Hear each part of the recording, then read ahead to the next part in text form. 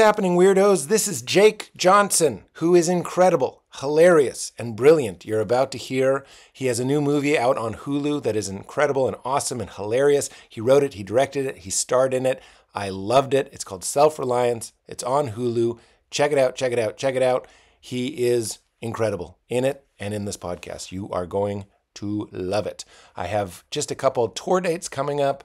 Uh, I'm going to be at the Irvine Improv for one night. I'm going to be at the Oxnard Improv on Valentine's Day. I also have my monthly Largo shows. If you want to see me at Largo, go to largo la.com.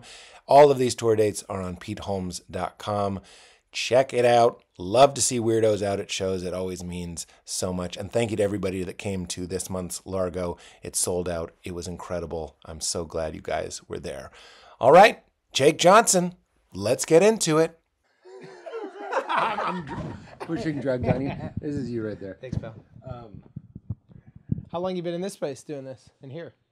Has this always been the? No, we first recorded. Do you, do you remember Meltdown Comics on Sunset Boulevard? No. There's no real reason you should, unless you went and saw a show there. We used to record it. It was near Sunset in La Brea. Cool. And that's where we did it for the first five, six, seven years. Neat. Six years, and we've been doing it here for four years. We've been 11 years now, I think. Oh, wild. yeah, it is. And you That's- just you yeah, just yeah, started just, one. uh, you're way ahead of the curve. I am ahead of the curve, but you know, and I don't mean to focus on the neg. Yeah. but I do kind of have this feeling of like, you know, getting honest about what I want. I wish more people would discover the show because it's one of the things that I'm most proud of is, yeah, is the yeah, show. yeah, totally. And it's really hard when it comes to like marketing. The first thing people want with marketing is new. Yeah, yeah, yeah. It's like, it's true. Of course. Of course. Apple Vision Pro. It's new. yeah, What is of that? course, it's true. um, so it's kind of It, it, hard. I see, it's a double-edged sword. it's a double edged sword. Yeah, because you have a great library, you've got the content, but you don't have the uh, the uh, new toy element. Yeah, it, it's not shiny. Yes. but it is established. Yes. Well, it also this whole world, which I'm very new to. So even the idea of doing podcasts, I'm still new to. Yeah. Because I came up as an actor in a different time. So You're an actor? Well, I'm trying to be. but the idea of it is even the way press was different. So I hated when press started getting short form. I remember my first press tour in New York where I went to BuzzFeed. Yeah. And I was waiting for the interview. And I sat in a room that was all white and there were cameras everywhere. And they said, just tell uh, uh, any story you want. And I said, why? And they go, because we're going to cut it into clips. And I thought, what the fuck does this have to do with the movie I did? And that story brought more eyes to the movie. And I remember being like, oh, the world is changing and I'm not ready for it. I think about that too. I watch other people's podcasts and I enjoy them and I see what they're doing to kind of I think compete with the instant gratification of scroll Yes. scrolling life. I don't know when I became Andy Rooney. I'm 44. We're we're about the same age. Yeah, yeah, yeah. And I, I just had somebody, by the way, in their deep 50s say We're the they're about your age, Yeah, and I was it like, happens to me a lot. Fuck yeah, yeah, yeah. you, well, look, we're the same generation, and I go like, come on, Come- give me what are you something. I know? I'm not them, Yeah. but I don't think I'm you yet. "You are not me." I'm looking at the like Yeah, yeah. topography map yeah, of your face. We're I've seen every smile you've them, ever had. man. We're them, man.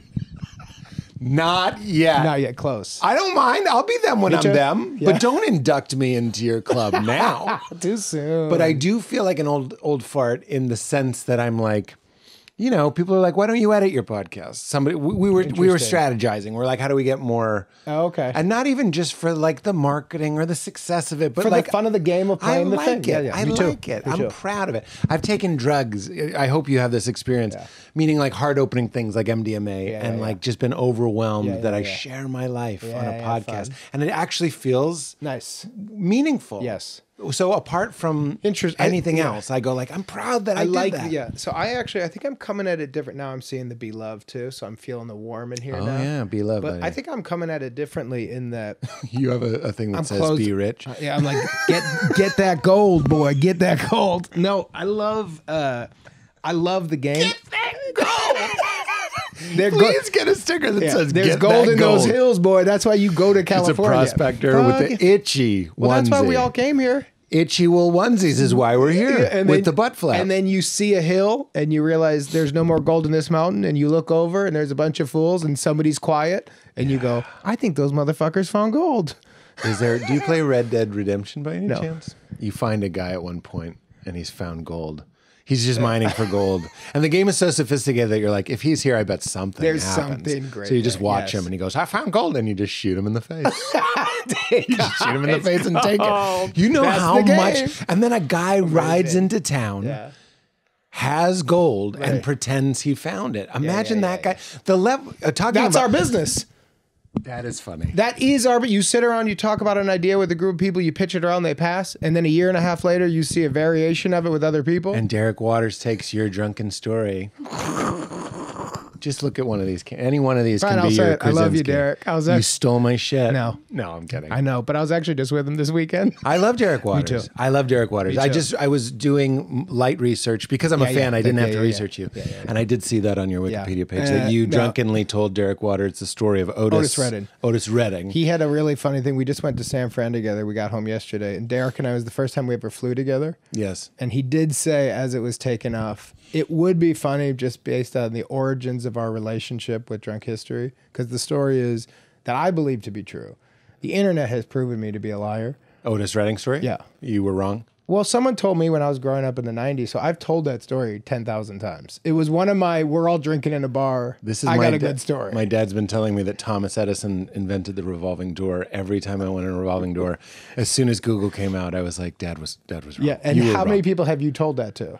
Well, Or not a lot? This isn't the ex- the the usefulness of this example ends there because I don't I don't do that because it used to bug me that my Oh, dad I would got say you. that. I got mine was a buddy told me in high school. The story is Otis Redding's uh, wife used to write a lot of um, his music with him. Back in the day, she didn't get credit for it. So, um, but they were really connected. They were really tied up. They were going to the air, working on a song. They were going to the airport. She drove up to the airplane right before he got on the plane. He stopped and he said, "No matter what happens, promise me, you'll be good." And she goes like, "You're crazy. What do you get on the fucking plane?" He goes, "Just promise me." She goes, "I promise." He gets What on What does the he mean? You'll be good. just like be they were religious be pure be good Oh, be okay. like be like of light I see. just like be a good person It sounds like don't go two timing me when I'm a ghost. might have been i mean i'm not in his head i just know the story and it is all a lie It's hard. It's okay, yeah, just just to know, spoiler, it's a lie. it's all a lie Keep going. So, be good. be good he gets on the plane plane crashes he dies so my buddy told me that when we were having like a ghost story night when we were like 17 and just smoked weed for the first time we all got tingles I don't like this. And I was like, that's amazing, man. Yeah. Like that's as good as it gets. So I told it in a lot of bars. Derek and I became friends. We were sitting in our apartment, my apartment, getting drunk, and I told the story. And I thought his eyes were going like, wow, you know, does this guy have a story? You know, and we were just becoming friends. Oh no. And I was like, then and the next day he called me up and he goes, Can I come over tonight with a bottle of booze? Anything you want, I'll pay. And we'll get our friend Jeremy Konner to film you telling that Otis Redding story. And I go, Why? He went next night. next day it was the morning after and i go yeah, yeah. why and he goes because i want to get uh, i was we were commercial actors at the time just started and he goes i want to get like real actors to reenact your story and then get someone to play otis redding So he really did have the idea. and i was like Of course he did. yeah and i was like no i can't be drunk i have a commercial agent Yeah, yeah, yeah. and then he put it together with another one of our friend and put me in the first one As one of the reenactors. with Mike Cera as Mike Cera was first popping, and that was like my first kind of credit around. Oh, So, so Derek and I are on the plane last night, and he goes, uh, "It would be funny if we crashed based on our backstory." like it all started. You've only ever told That he we did lied. die in a plane crash, though. He did die in a That's plane confirmed. crash. That is the part that's not confirmed is he said The to his whole wife, be good and all that shit. Yeah, I just remember like Bill the butcher. Yes. remember Which which part of that story? that when he's dying, he goes, "I'm proud to die a real American," Good for him. and I'm like.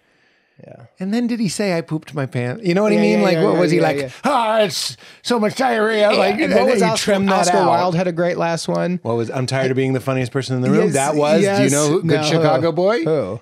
Good Chicago boy. I'm putting all this pressure Johnny. Belushi? No, I'm tired of being the funniest person in the room. Was the last words of Del Close. It was. Yeah. Huh. And then I'm sure he also said, Yeah. "I'm cold. I'm cold." Yeah, that's right. I'm also. Can I get more of that cough medicine because my chest really hurts? yeah, yeah, yeah, exactly. Please give me more morphine. Yeah, it's is hurting. everyone's last words. And or like, please be quiet. Please be quiet. Honestly, please be quiet. Shut the fuck up. Everybody, please. I get it. I love you. You're my family. All you people are around. me. Honestly, shut the fuck up. I'm dying. Give me like one minute of silence before I leave this fucking earth. I can't breathe. you know what I'm gonna want? Unplug that beep beep part monitor. Yeah, yeah, yeah, yeah, yeah. I can't have a beep beep. I know what I'm gonna want. I've thought about it based off, you know, relatives who I've watched pass. I am gonna have a stage where I'm gonna say, load me up with drugs. I'm not gonna. Some people say towards the end of their life, They want to experience it. and they want to be around and be present. yeah.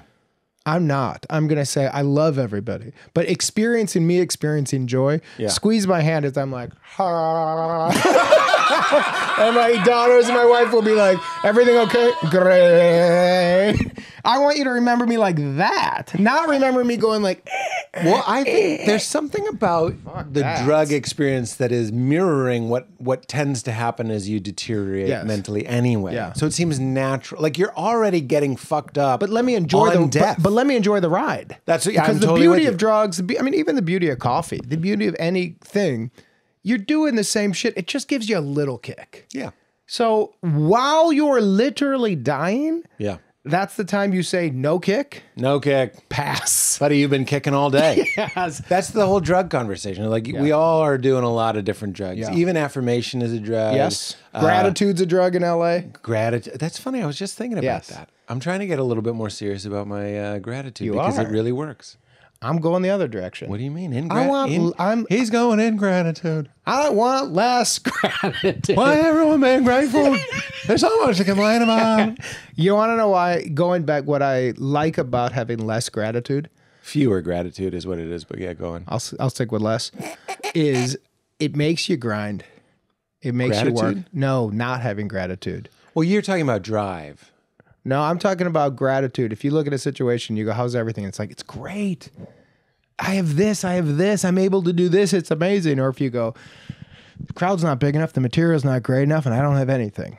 Interesting. Then you go, well, I got to make the material better. I got to get the crowd bigger and I got to make this nicer. But if you have gratitude, I do start feeling complacent. I feel happy and I go like, life is really amazing. And then people with a lot of gratitude will justify anything. They'll go like, I have so much gratitude. I go, why? They go, I'm breathing.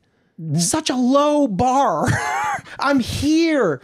Guys, we're all together. It's great. My buddy Eric Edelstein, my favorite guy on planet Earth, uh, who's not in my family we uh he's a Mr. Gratitude. We were gonna go watch the football game yesterday in his hotel room. Uh, we didn't want to go to a bar. We wanted it quiet. Derek's a Ravens fan. We got like some snacks and a couple beers. It was great. We're going up to the room. While we got to his room, the maid was in his hotel room. Bad luck. yeah. He goes, "It's perfect."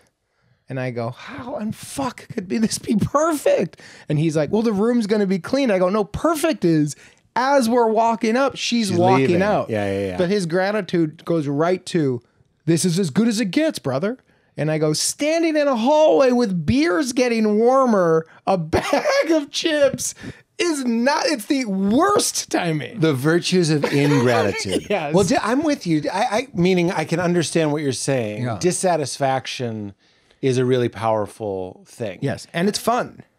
Well, yeah, complaining. You mean? No, working, having that feeling of like, Well, do you remember there was a line in Funny People where he says uh, Adam Sandler's character says to Seth Rogen's character who's starting out. yeah. And he's like, "I'm broke," and Yeah. Sandler goes, "That's good. It'll make you work harder." Yeah, yeah, yeah, yeah, yeah. And I, I, so I know what you're talking Yes. about. I am gonna, I'm gonna challenge you. Please, though. I that's want the you fun to of know. this. I want you to know. Let's get No, weird. it's coming. I'm gonna let you finish your point. but- No, you go. I want to get challenged. Uh, is it possible, Jake, that you can have gratitude, Yeah. and in that state of gratitude, Yeah. which we could also call like an open, satisfied state, you can ask yourself, "What do I want? Yeah. How do I want to feel? Yeah. Why do I want it? Yeah. And how can I get it?" Those three questions. I think that's nice. And because then aren't you running on like a just a higher octane fuel? Same thing. Right. Desperation and fear can make me go, and don't get me wrong, sometimes I get in a panic. Yes. And I have to book guests, I have Yeah, to yeah. book shows. I, I, I write grind, that script. grind. Yeah, yeah, yeah, yeah, yeah. But I think I'm agreeing that that works. Yes. Isn't it possibly better to stop and just go, I don't want, like I'm trying to write this movie. I've been trying to write this movie for a long time. I have a draft of it, Yes. but I'm still, I, there's more work to be done. when I go, I have to sit down and do those rewrites. I don't do it. But if I can stop and focus on why I want to write the movie, Right. and what I'll feel when I finish the movie, That'll while get you to do the it. movie, that's a cleaner. Like what we have to do gives me paralysis. Hmm. Why I want to do what I have to do will make me start doing the things. I think that's interesting.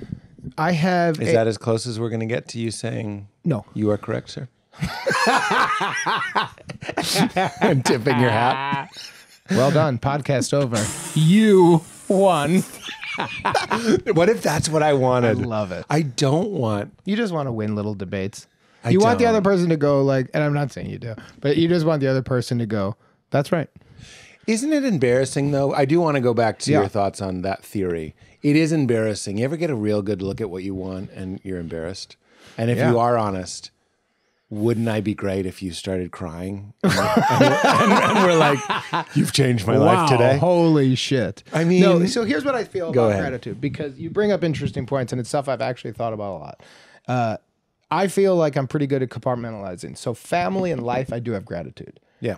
Uh, we were talking about the outside house, places that mean something, all that stuff. I have a lot of, I will, every once in a while, I'll be like, wow, like this part is great. Yeah. When I have had moments where I have gratitude towards my job and I go, a fucking chubby kid with my nose from a suburb of Chicago got to live my childhood dream, Love that which was just to be on TV. I got to talk more about the nose, but Yeah. Great nose. what are you talking about? Who who hurt you? A lot of people. Who hurt you with that nose? But in here- Evanston? Uh, But but it was a pretty progressive, it's a lovely beautiful place. town, beautiful town. They're calling you what? No, I'm just kidding. Let's, let's not, let's not relive it. Let's not relive it. No, I'm teasing. just goes to color bars. Yeah. Um, Keep going. But what I'll have is when I have those moments where I'll go like, oh, I hit all those bars that I wanted to hit. Yes. The stuff that when I was at improv theaters and sketch and writing my ass off and having day jobs and grinding, there was a bar. And when I hit it and I feel gratitude, my shoulders come down. Yes. I feel the desire to smoke more pot. Yes. I have days where I'll go like, but truly, Yes. like I, I smoked pot once in the last two years because I got the grind back. When I'm feeling really good, the kids go to school, one hit with coffee, a slow workout. What a wonderful day. a lunch where you go, what is this restaurant? What do you serve? And I go, someplace in Silver Lake where I'm like, well, this is as hip of a place as I've ever been. A smoothie with a weird salad. And you can also fry the chicken, but you're using an oil that's not even bad for me. And sweet potato fries. And I start going in, my friends call them wavy gravy. Because I start going in a mode of like, life is good. And if I'm sick and I'm going to die, leaning into wavy gravy. Yeah.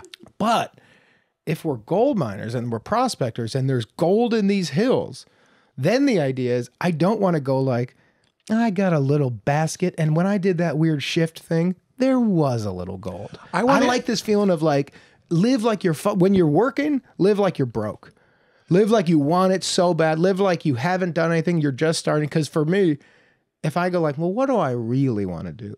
I think the hobby is creation. Yeah. And the hobby is some. So for me, podcast. When I finally got into it, when Gareth pitched me this idea, I said no to him for a long time, and then we I started seeing it more, and I was like, oh, you could have a direct link to audience. You can have like a highly produced show. You can make a lot of them, and then you can start trans. You can start passing on other jobs. So if Hollywood comes calling with one of their like bullshit low offers, Yeah. that you go like, what is the offer? And they go, well, this isn't a money deal, but you're with great people. Yeah. Yeah. And I yeah. go like, well, there's great people everywhere. and so some 24 year old AD is going to make my schedule.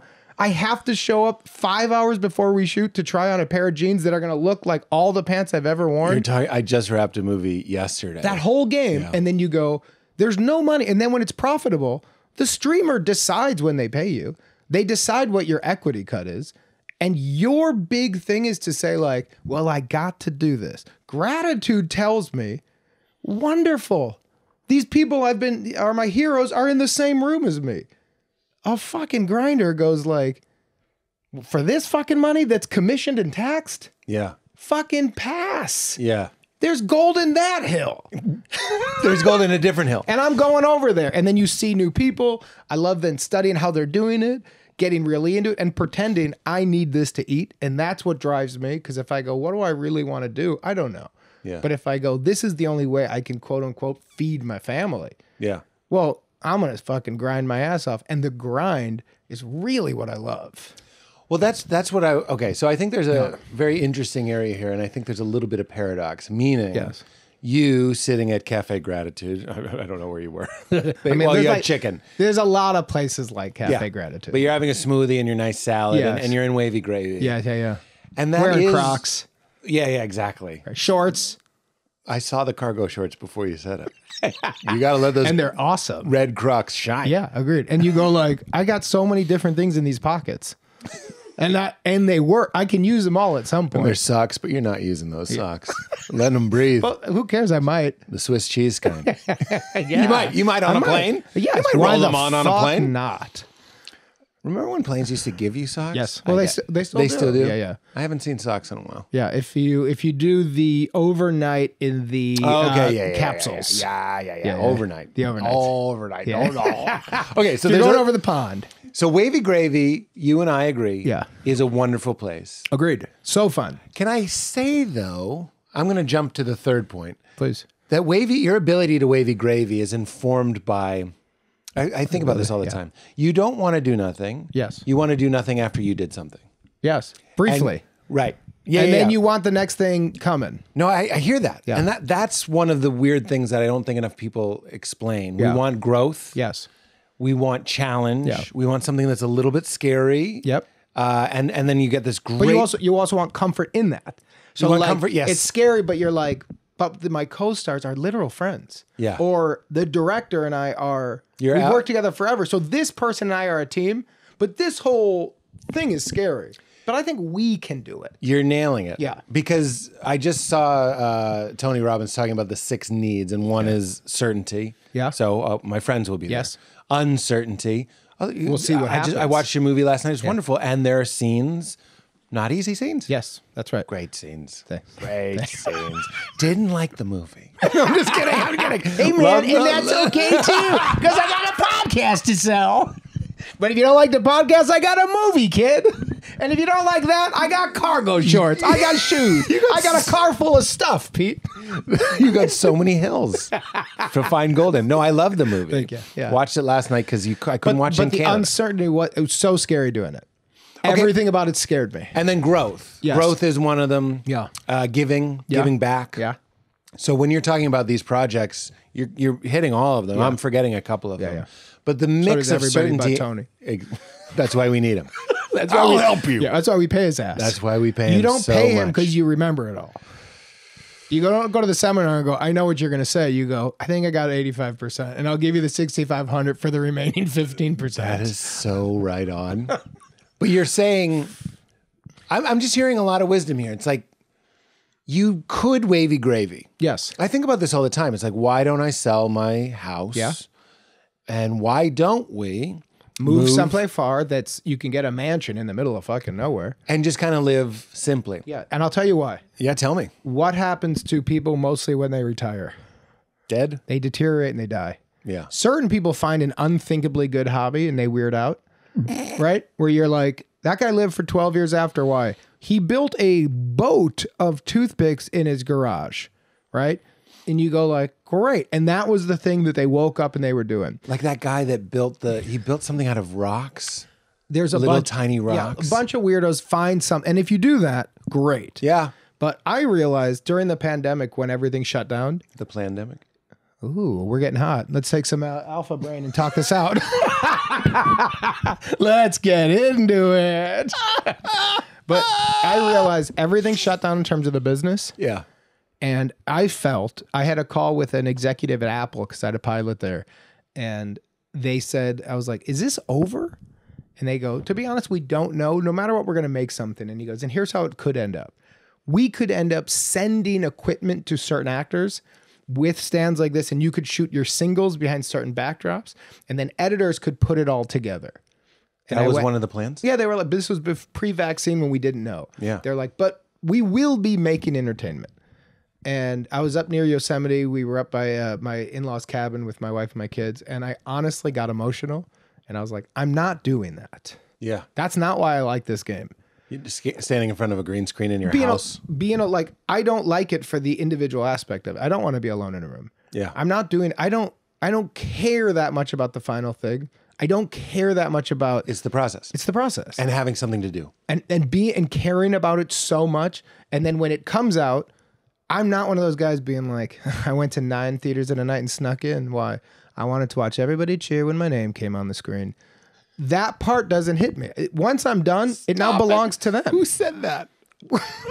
just name names. i don't have anybody in specific Just kidding. but that whole thing i don't really care about Yeah, no, I the get it. pandemic hit and i was like oh i'm getting more depressed than i have i'm like this is back to like 16 year old depression Mm. where i was like well who the fuck am i what is this thing so i literally like built a cabin in my backyard because i needed to like every day be excited about something. something, when i was done feel like oh i'm tired. I'm accomplished. So then i could like sit at dinner.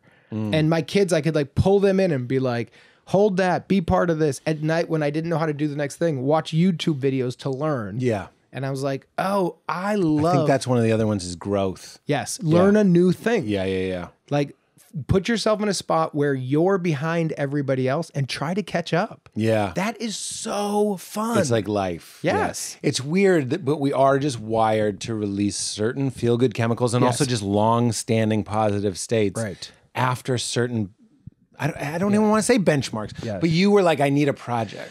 If we're if we go back to us at the beginning, I feel like the gratitude movement says we were all meant to sit in a big circle with great hippie clothes on and tell each other how much we love each other and beat on a drum and go hmm and feel a vibration of peace and love and kindness. I feel like we were right, uh, brought in this thing to chase an animal and eat and bring it back and have people and my yourself eat and feel really good when everyone's eating. Yeah. and go like they're eating because like the Well, eight of us did contribution, this. yeah, contribution. And yeah. then somebody else does a great thing with that meat, and someone else does something. And then when you go to sleep, you're like, "Hey, you did a great thing to help me sleep." Yeah. And they go, "Yeah, I know. I feel great about myself now." Yeah. And then everything works. And then as soon as the food starts going out, you're back to getting something else. Well, that goes back to why I hope you're enjoying doing your podcast Yes. and my MDMA experience. Is you're like, I'm I'm I'm keeping it moving. I'm Yes. bringing a different kind of animal back. exactly to the camp. right. That's Yeah. exact. And what and for me, the real fun of it is so like for ours, I like the idea of going highly produced.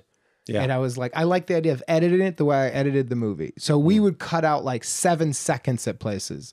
And our producer Kevin's like, Is there a lot of notes? And I'm like, I know, but it's really fun. And then like finding the type of calls, because we have a call-in show. And like, I don't want to get sincere. I don't want a problem that it's like, I'm a little depressed. Go to a therapist. Mm. I want something really dumb, but really important to you.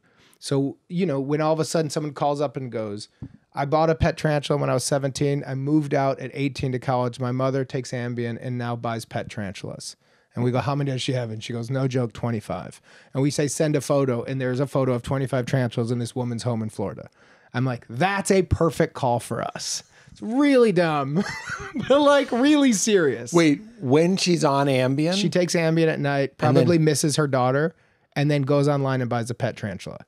And at this point, she's got 25 pet tarantulas.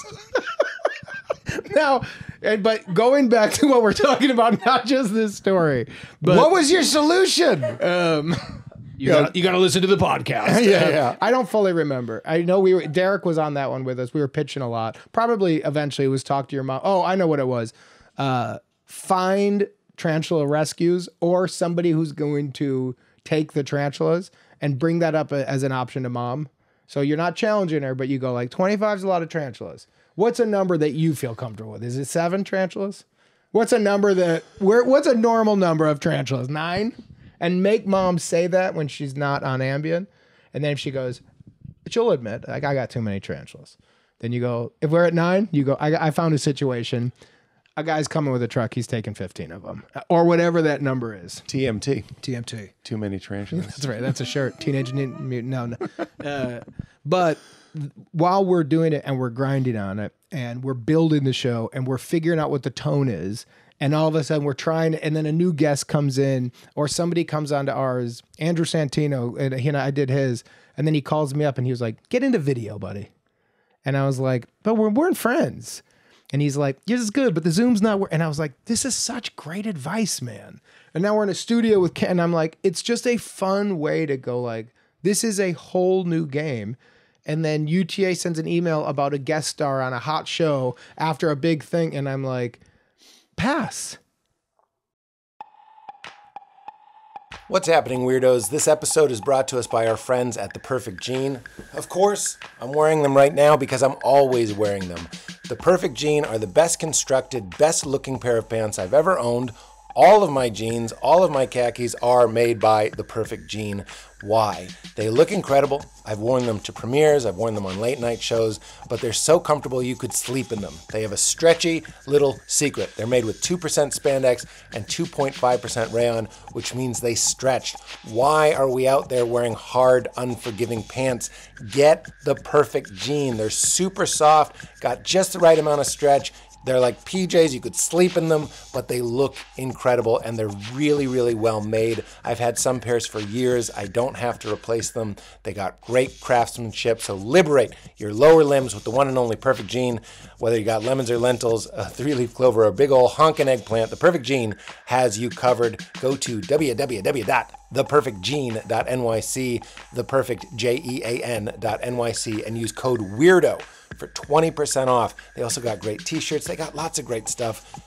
Trust me, check it out. I'm also super excited. I'm here in LA doing a show tonight, and before I left, I was sure to bring my first person supplements. First person have made supplements that have absolutely changed my life and Val's life, and I'm so excited to tell you about Golden Hour. First person designs precision targeted supplements made with functional mushrooms that aim to stimulate the body's natural production of specific neurotransmitters that trigger activities like energy, mood, and sleep.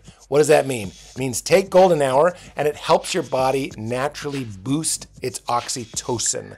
Oxytocin is so huge, it helps me get into a sense of joy, connection, and relaxed presence. I noticed the difference the first time I took it. Val did too. Within 15 minutes, the effect has built over time, and the more I use it, it keeps getting better at helping me mitigate stress and boost, excuse me, the mind-body connection. I take all three of their supplements. I stack it with Sunbeam, which supports the body's natural production of dopamine, the motivating chemical when I need to sit down and work to maximize productivity and creativity by activating the brain's motivation and reward system. And at night, I take Moonlight, which uh, GABA, the neurotransmitter that helps you relax the central nervous system, fall asleep faster, and stay deep asleep. It's incredible, made with 100% grain-free organic mushrooms, as well as highly curated blend of nutraceuticals. It's a game changer. Start improving your brain health and cognition with First Person. Get 20% off your first order by going to getfirstperson.com and use code WEIRD. These statements have not been evaluated by the Food and Drug Administration. These products are not intended to diagnose, treat, cure, or prevent any disease. All right, back to Jake. But five years ago, I have to say yes. Yeah. Even though I like the show and everyone's cool, because you go, well, the game tells me I have to stay in it. Yeah. But I think this system is taking advantage of people, not the creatives. Yeah. And I go, oh, because of this new thing, I It's get to now. I get to say no. So I have gratitude for that. But while I'm in it, You shouldn't have it. I do have it. You get rid of it. You're going to become complacent. I don't have any gratitude for it anymore. You're right. I'm a rat with nothing, and I need cheese to eat. I'm Yeah. just so with you. Right. And it is sort of a shame. We could go down that path. Maybe it's the prospector and the gold, and somebody shoots you and takes the gold and Yes. brings it to town. There is something pure about coming back. Th- this podcast, I didn't even know when I started what it would become, but talk about the pandemic. Yeah, yeah, yeah. Oh. Kept kept us uh, alive. Yes. And then and creatively alive. and creatively alive. Yeah, forget fresh, dude. fresh, something to do. Hunting My an wife and. I do the Friday episode, so we have this like built-in. It's Date. become You have a built-in date. but better than a date. Yeah, yeah, you're Jake, right. A I'd, heightened like, date. I'd like to think if you and I had coffee, Yeah, yeah, we'd be talking like this, and maybe we would. I agree. maybe we Yeah, would. it's But- heightened. But it's heightened with the Yes. microphones. Everybody's heard me say this a million times. Yeah, it's nice. But there is something strange about this business. You mentioned the commission and the taxing. Having just d- done a movie, Yeah. I literally came home yesterday. Right. It was one of the happiest. I, I was just telling Katie, my co-star Judy Greer is, she's an actress. Yeah, I'm, a. I'm a comedian Yeah, who, yeah, yeah. who, who acts. She's I'm great. an actor. She's a killer. She's wonderful. Agreed. Killer. And she just had a different approach to it. Like she was booking her next thing. Yeah, yeah, And yeah. I was like, I have five months off I- after I- I I, can't- yeah, yes. wait. to be off. I can't Yeah, wait. I think I would say no. Yeah. If some, in fact, I did say Yes. no to a couple things. My manager, not to, this is a brag. I'm just going to own it. My manager was like, "You have this hiatus. You could fly to this thing and shoot it, and then fly back." And I'm like, "What are you nuts? Yeah. Like, no. Pass. But some people, Agreed. I'm not saying this is Judy 100%, but Yeah. she was better at sinking into it Yeah. and doing it. And you mentioned being in the trailer for five hours. The number of times, I want to put this to you. Please. When I'm with my babies, Yeah. my wife and my daughter, and and I love it. It's that's my life. And every once in a while, you're just like, God damn, it would be nice Yeah. to just relax and just have some quiet. Let's say. Then I get to a movie, and I have a day of quiet. I'm like, this is dope. Then the next day, I'm like, this isn't so dope. Yeah. And then something happens. I'm on. I'm in my trailer. I have my book. Yeah. I have things I could do. I'm one of those people. I can entertain myself. I like doing breath work. I like doing all sorts of different things. I don't do any of them. Right. I'm in there, fucking flipping around YouTube. Yeah. I could watch a good movie. Oh, Agreed. I don't even watch a good yeah, yeah. movie. You're on I'm the you're on the Instagram algorithm. You're I'm just seeing what's being sold to you. Clockwork Yes, Orange. just go. I'm completely orange. Yeah. But it's because my will.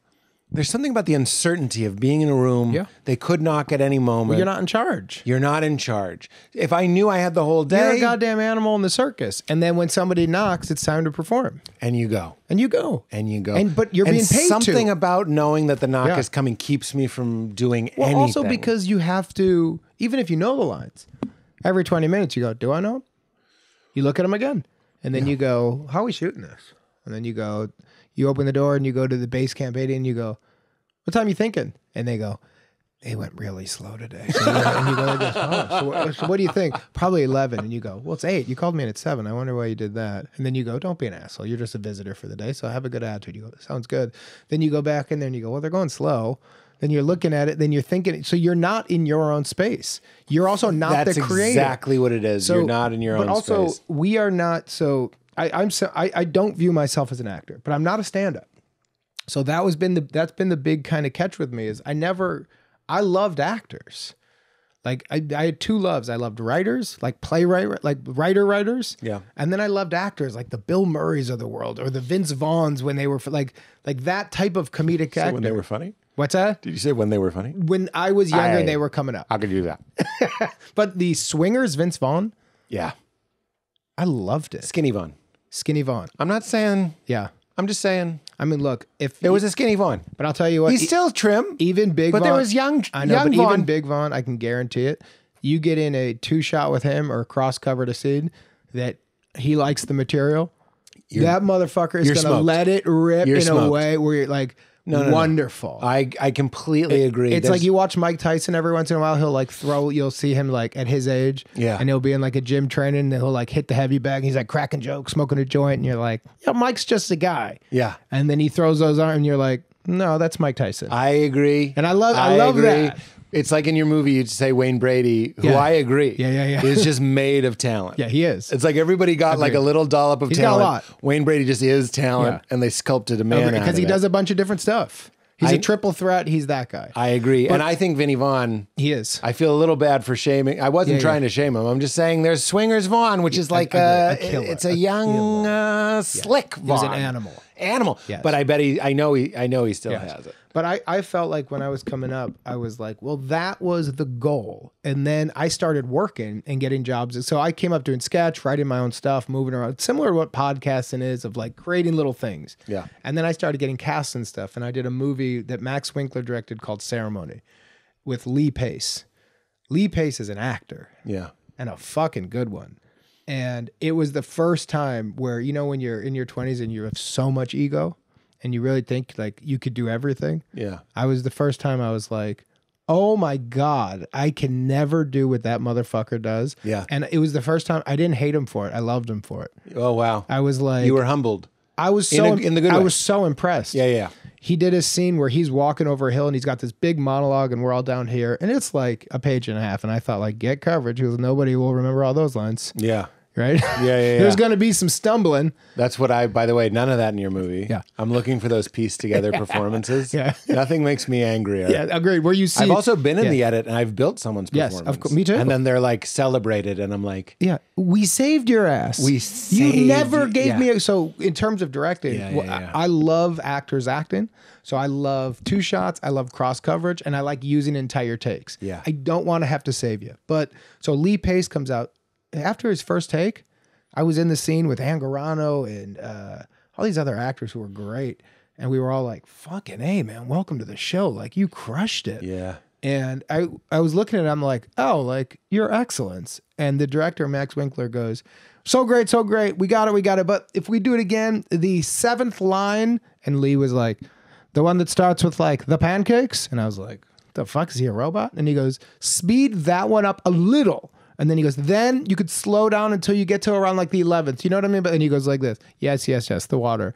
I'm not making a joke. I thought they were doing a bit it sounds like a bit. It, was so technical that it was as if Lee Pace was a robot. It was code. and I honestly thought it was a joke to you know like sometimes you do like a really good take and you know you crushed it. The other person knows you're in a two shot. You both had a great scene, and then the director goes like, "You guys are going with that take." It's like the soft mean joke. Yeah. which I don't think is mean. It's fun. Yeah. So you just go like, "Yeah, I think we'll try that," and they're like, "Okay." so I thought they were doing that version of a joke Yes. he did the note. Yeah. And it made it better. Wow. And I remember going like, I just I'm not I'm not that. And I love that. And in mine, literally before the first take, Max goes like, you know, the lines are the lines. Do, do what you want to do. And I was like, oh, you didn't say that to Lee because he's an actor. You say it to me because I'm this other thing. a performer. Who knows? I, but what's Yes. confusing to me, Jake, Yes. is that I think you're. A ter- I'm not just saying. Yes. I think you're terrific. Thanks, bud. I also want to give you a very specific terrific compliment about your terrificness. Is that you know I wrote my own show and and I course, feel I'm- like when I I'm a fan of watch it. it, oh thanks Yeah, man, yeah, I of didn't course. know. When I watch it, it's probably just me. I hope. Yeah. But I can feel Pete, the actor in the scene, and also Pete, kind of watching. Yeah, yeah, yeah, yeah. Totally. like- yeah, same with me. So when I watch Yes. things like I gave Seth MacFarlane name drop Yeah. the same compliment that Orville he doesn't seem to be involved except as an actor. He's he's just kind of in the scene, yeah. and that's what I want to say about Oh, self reliance. And I don't know, you're Let me can I jump in really fast because I have a funny There's way. a compliment yeah, coming. but it's really specific to what you just said. It's really specific. so it's really funny you say you saw yourself watching yeah because and angry sometimes. Yeah, I'm yeah, like uh, I'm mad that this uh, guy. you're now he's not doing it right or this isn't happening right. Yeah. So as an actor, I'm always watching because I, do, I don't get competitive with my scene partner. Yeah. So if I'm in a scene with Vince Vaughn, I want that fucking guy to roll because I know we're both going to win. If you're in a winner, you win. If you're, and this goes back to the Del Close from the beginning, make your scene partners funny. So Max Greenfield, uh, uh, Schmidt from New Girl, I sent him an early cut. And he was like, "All right, man, I watched your fucking weirdo mushroom movie." He's like, "Good stuff." And then he goes, "He's Like he it's a mushroom trip. like you eat mushrooms and then you made this movie." and then he goes, does not feel that way to me. either. Yeah. But what he said, which was really funny, he goes, You're really good in it, besides when you're with the homeless guy, and then you're just Jake as a fan watching your favorite actor in the world. And I go, Wiff? like, You're not wrong. Biff Wiff? Yes. That scene like with me and Maddie at the restaurant where we're first on the date and he's behind us. Yeah. Well, what was supposed to happen, uh, as written, we go in there, I go, I'm with her now, I'm good. And he goes like, okay, and goes to another table. Biff Wiff was crushing so hard that I go, you know what we're gonna do? I'm the director. The beauty of directing is I get to make these choices. Put a chair in all of my shots and put Biff behind me. And Biff goes, What would you like me to do? And I go, Just listen and react honestly. If you feel like eating, eating, just stay He in eats it. a lot. Yes, he chooses. I said, just be in it. So in the scenes when she goes, I go like, let's you know do this, and she goes, should we? Well, instinctually, then as Jake, I just wanted to go to back to Biff because I liked him so much. So I'd go like, what do you think? Everything he's just doing, he's just reacting. Yeah. And all mine is just Jake being like, I love everything about this guy. But whenever Yeah. I turn back to Anna, I'm back in the movie. Yeah, But yeah. whenever I'm looking at him, Yes. the joy that fucking dude brought me, yeah. It, that I was like, oh, he's so. And also, my tone of the movie was really weird. And as a director, you as you're pitching it, you know it. You don't know it. yeah. You pretend to know it. Yeah, yeah, yeah. Then you start casting it, and you're like, I hope I know it. Mm-hmm. When Biff Wiff got to set, I knew my tone. Stop saying Biff Wiff. Stop saying that. I can't. And he also Wiff- said to me a bunch. He goes, "We're because we got close." We got, and he was like, "You know what? One of these days, you've earned it. I'm going to tell you my real name. Still haven't heard it." and I still love Biff Wiff. But when What he if it's Walter? Oh, I'd be so happy. Everything about him. But when he came, I was like, now I know my movie. And I would tell other actors where Yeah. they're like, you know, the family stuff. How intense should we play it? I'd be like, well, Biff's in it. And Yeah. how Biff's playing it is right. So you're intense, but we're not going to win awards for this movie. We're going to this is our this is our own. We want people to laugh and go on the ride. Yeah. And I would think to him at times where I'd be like, I'm getting heavy. But Biff is going to be in the next scene. Yeah.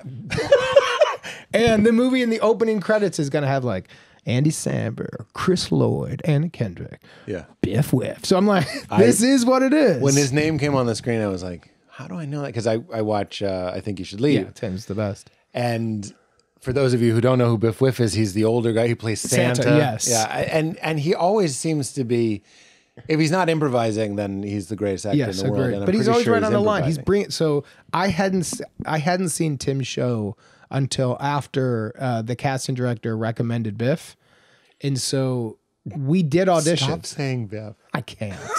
Notice how many times I said tarantulas before? There's certain words that just are great. Biff Wiff. Biff Wiff.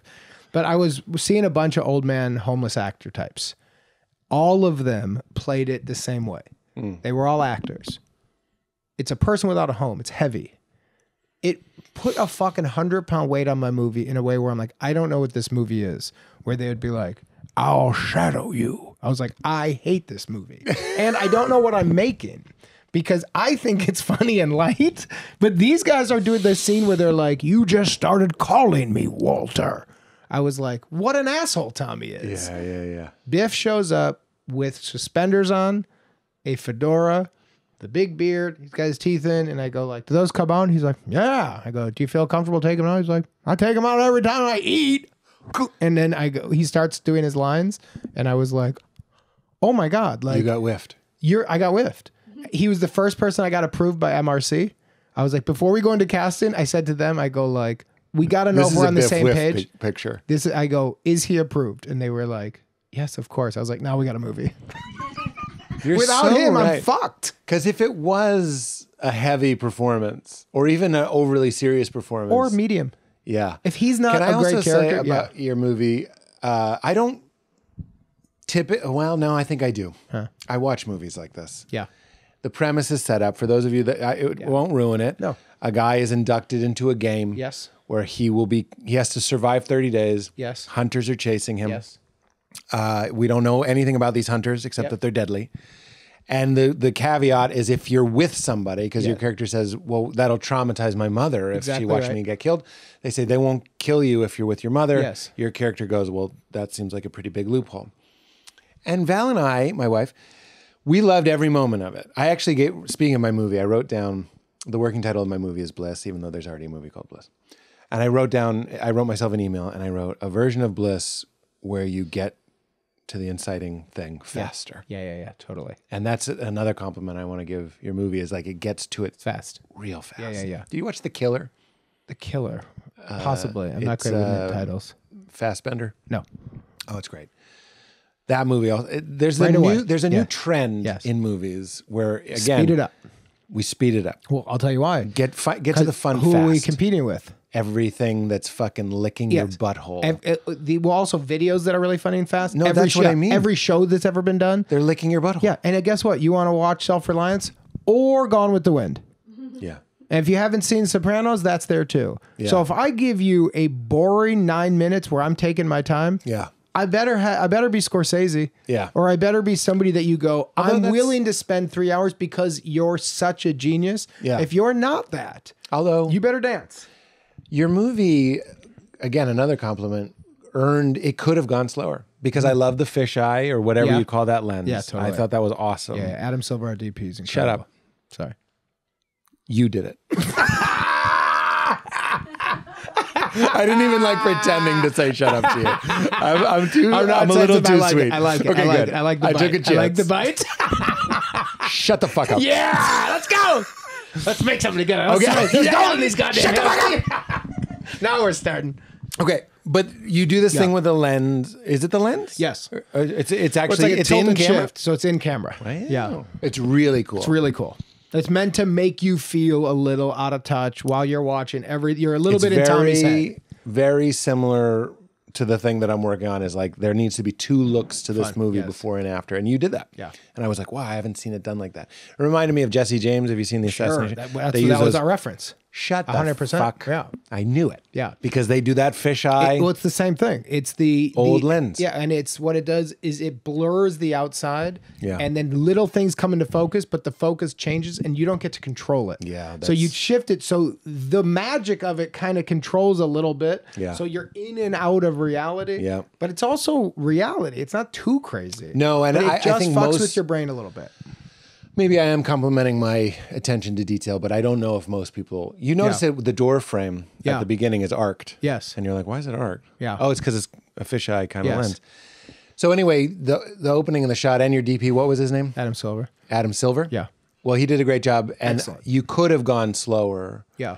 And that opening, you're in bed and you're getting up, Yeah. and the light is coming. in. Yes. and I was like, what a nice shot. Totally. I just modern movies just Yeah. they're not doing it. Yeah. they're not. That that was sunlight or was it? Yeah, that was light? flare. It seemed like it was real was. sunlight, and I was like, It's gorgeous. "Thank you." yeah, yeah. It felt real, Yeah. and I also appreciated little things like showing your morning routine over and over. Although your phone should be plugged in. Yeah. You're not wrong. but I'll tell you what. Well, Shut look, up! I am wrong. It's stupid. it's stupid. That was so stupid. I regretted saying Yeah. it immediately. Well, but here's- I wanted you to know I watched your movie carefully, well, I can tell, and I, I truly appreciate it. and you could have gone slower. And you do so many montages, Yeah. and they all work. Yeah. That at the end, uh, no spoiler. No. Every relationship is earned, and when you think, thanks. why does he like Anna Kendrick? Well, we saw it. yeah, that's That nice. scene where you're putting her up on your feet, I'm like, well, that that was 45 minutes of movie. Yeah, yeah, yeah. It's just like a little moment. a little moment. So well so done. thank you, buddy. I appreciate it, and I appreciate you actually watching and knowing. For me, when you talk about when you watched yourself on the show and you saw where you were mad and you said where you were watching, Yeah. I just see on this where, in terms of what we were talking about earlier about T. Robbins, of challenging yourself and learning. Yeah. I was underwater this whole movie. Really? So in terms of learning and going, I would be like, I have an idea. I don't know how to do it. Even editing, when we first sat down to edit, I was like, like I feel like I should know more than I fucking know at this point.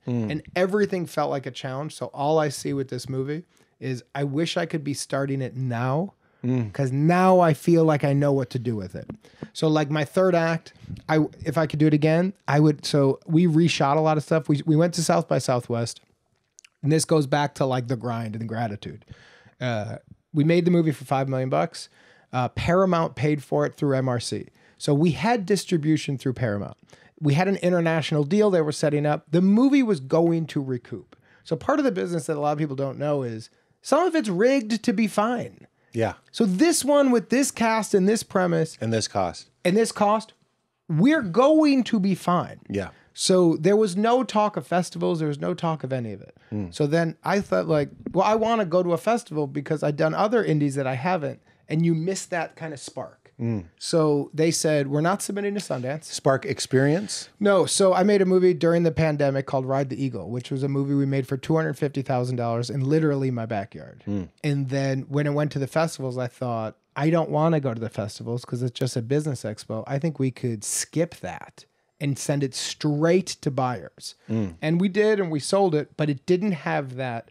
There was a group of people who saw it together and got excited and got a buyer excited. Yeah. So I was like, I Good old, good old fashioned. I call that avatar when there's like a tribe of people Yes. that unite around a tree. yeah, but also good old fashioned sales. yeah. if I come to your door and I say I have a great vacuum for you, you're a little bit afraid I'm going to come in. Mm-hmm. And you go like, I kind of want a vacuum, but I don't know if it's real. I don't know who this fucking guy is. His tie seems weird. His vibe's Mm-hmm. a little off. If you go to a place and there's a hundred people watching and everybody's excited and people line up, you'll go, I'm lining up too. Nothing draws a crowd like a crowd. Del Close, last words. A lot of Del stuff. it was all when it, well, in a way. Are a you a big Del guy? I'm not a big Del Yeah, guy. because you're stand up. But I went to Chicago to do improv. Let's not forget what we're talking about. Yeah. But the reason I'm not a big Del Yeah. guy is because he and I love him and Yeah, have yeah, full yeah. respect. When I got there, he had just passed. Yes. So he became the symbol of you missed it. And I hated that feeling. Yeah, I just I resented everyone that was in the Del Club, yeah, and I was not in the Del Club. Same thing happened when I moved to New York. A lot of great stand-up rooms had just closed. Yeah, and, yeah, and they were like, "You missed it." And I'm like, a lot of my career was me showing up Right after. when it ended, and then I realized there were other things starting Yeah. that became the things that ended when other people showed up. Yeah, yeah, But yeah, I didn't yeah, know that. That's something you figure out later. But everybody used to be like, "Well, Del, Yeah, if you didn't know him, you'll never know." And I'm like, hundred percent. I'm saying this as Del Close, eat shit. Yeah. Because what he was Yeah, yeah, teaching yeah. wasn't Totally. Come sit by my feet. It, yeah, it- yeah. it was here and now. It was like, let's get wild, let's get real, let's get excited. Yes. That's as a vi- I feel the same way. I'm not trying to be weird. Ram Dass, one of my great teachers, he died, and, and people are like, oh, he's gone, he's gone. What are you talking about? yeah, this is yeah. literally the be here now guy. Yeah, Here and now is as available as here and now That's will it. ever It's be. exactly right. So shut the fuck up. Same with Jesus. Same Yeah, with yeah. Bu- Buddha, Muhammad. Doesn't matter. Yeah. What are you doing? Acting like whatever. Isn't it weird that the awareness that's looking out? Pick your favorite person. Yeah. Their eyes is the same awareness that's looking out your eyes. It's right here. Yes, but here's the catch. Hmm. Because I'm always going to be this guy too. First of all, you're right. I'm feeling emotional. Yeah. Second of all, here's the catch. Can't wait. Grateful Dead. Wonderful thing that happened. And we missed it. So in 1994 or five, I had I was dating an older woman. Nice. Thanks. It's cool. Lost my virginity to her. No. Yeah, she was older. And she was wise. Wise in the ways of the sheets. She showed me the way. Anyhow, she was older. She was cool. She was into the dead. Uh, and she took me with like her older friends. We went to see a dead show. I saw Jerry Garcia. on Oh, you stage. saw it? Yeah. I was smoking joints and eating grilled cheese sandwiches in the parking lot. I was surrounded by the dead. I had a cousin who traveled with them for a while. So we knew people, we knew that end of that world. Mm. In the 90s, we had already missed it. But I tasted that thing with that original group and the old heads who you'd be like, that guy's like 65 years old. He's been traveling with us since he's 18. Cool. They all live in that van, whatever.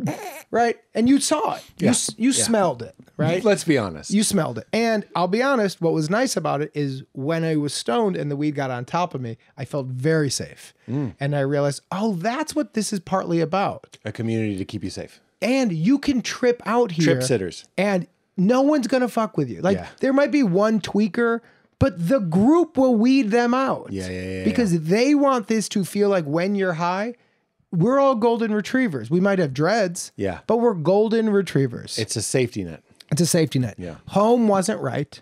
Your life wasn't right. Society is not right. You are safe here in a pack. Wow. And while you're here, listen to a song that should be four minutes that goes on for 25 and just goes like, and you're dancing. Doesn't have to be good. Just go like this. No one's judging you. Yeah. It's all love, right? Yeah, yeah. It was, and at 14 or 15, whatever age I was, I was like, well, this is a lot better than House of Pain or whatever trash I was listening to. Yeah, yeah, yeah, yeah. yeah, yeah. I was like, let me put down my other CDs and this might be it. Wow. Long story short, That made me really have. I don't. I'm not a big FOMO person. Yeah. But I watched that the Amazon Prime thing on Yes, the me dead, too. and I was like, yes, same. But even in the 90s, it was over. yeah. So you would see the old guys and you'd go like, when you guys were young and so were they young, this must have been magic. yeah, yeah, yeah. Cut to 2021. A new version of it with John Mayer is going to doing tours and there's a new generation of people who will say, yeah, the data's still going. It's the same thing. Yeah. And to me, I go, you're living in a world of spin. I get that you want to experience it. Yes. I get that the basis is there. This is a new thing and this is cool. Be psyched about this new thing. But it's not the same. But it's not the dead. John Yeah. Mayer's your Garcia. And you could like Mayer, but then you go to those same people. Yeah. Uh, like they're like, I love the dead. I've always loved the dead. It's like, well, you haven't always. You're 35. and then they go like, well, I've always been. And I go, you go to John Mayer solo concerts, Bodies of Wonderland. You like that? They go, no, I'm not a Mayer guy. And I go, yes, you are. This is Mayer. This is Mayer. and Yeah, he's yeah. fucking cool, and you like him, and they all like him. But you're going to a Mayer and Friends concert. Yeah. and they're doing covers of the Grateful, Dead. Dead, yeah. and so for me, the only time that gets me annoyed because I miss Del. But my brother and I were improv guys growing up. You We- missed him. like we, I had the Like same I thing did. as you. Yeah. Always heard about him since I was a kid. Yeah. Always thought when I got old enough, I would study under him. Yep. The idea of Del was so he's the genius. Yep. And teaches you how to do it right. And Yeah. if you're not touched by it, you're always off. Yep. Well, the idea of now being like, there's a new guy and he is Del. Well, it's not. Right. Just because you read his book doesn't make you. It's different. Right. And so I like the I that feeling, but I don't ever want the spin or the happiness or what you want Yeah. to pretend it's still happening.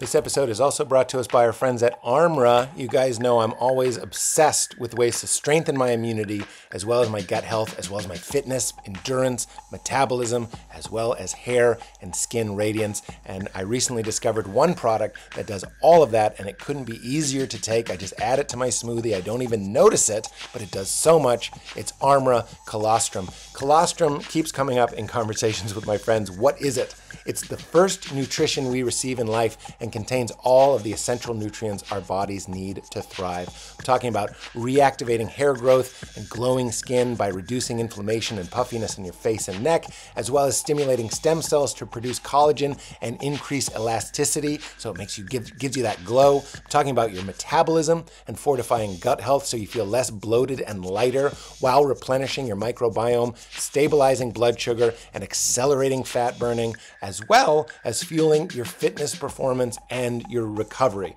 which I'm 44 now. That's so huge, and I've noticed the difference right away. So easy. ARMRA Colostrum is a proprietary concentrate of bovine colostrum that harnesses over 400 living bioactive nutrients that rebuild the barriers of your body and fuel cellular health for a host of research backed health benefits. It's wholly natural, sustainable, and was developed with the highest integrity, grass fed in the United States, and they guarantee the highest potency and bioavailability of any colostrum on the market for results that you can actually see and feel. I've been using it for months now, and I am sold. So we've worked out a special offer for weirdos. Receive 15% off your order by going to tryarmra.com slash weird or enter weird for 15% off your first order. That's T-R-Y-A-R-M-R-A dot com slash weird. Support your body, support the show. Also brought to us by our friends at Element, L-M-N-T. I was actually just talking to someone who takes it. They kept calling it LMNT, and I'm like, it's Element, but I get it. It's LMNT, Element. Healthy hydration isn't just about drinking water, it's about water plus electrolytes, which makes sense. When you sweat, you lose both sodium and water, and both need to be replaced to prevent muscle cramps, headaches, and energy dips. And every morning, I get up and chug one big old glass of water with element in it, and it boom, wires me, dials me into my day, and gives my body what it needs. The solution to getting uh, through your workout isn't just drinking enough water, it's optimizing the water that you're drinking. Element has become a huge part of my wellness program. I drink it sometimes at night. I love the chocolate salt flavor.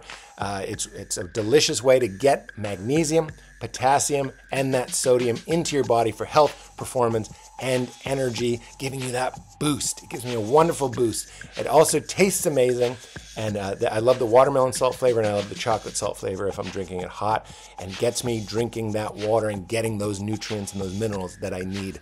Element has come up with a fantastic offer for us. I just gave it to some friends who drink it after their workout and they say it basically gets them like vibrating. They feel so good. Go to drinklmnt.com slash weird. Use promo code weird to get a free sample pack of all the flavors with any order when you order. And if Element doesn't exceed your expectations, they have a no questions asked refund policy. You don't even have to send it back. So support your body, support the show. Go to drinklmnt.com slash weird and get your free sample pack with any purchase. That's drinklmnt.com slash weird. All right, back to Jake.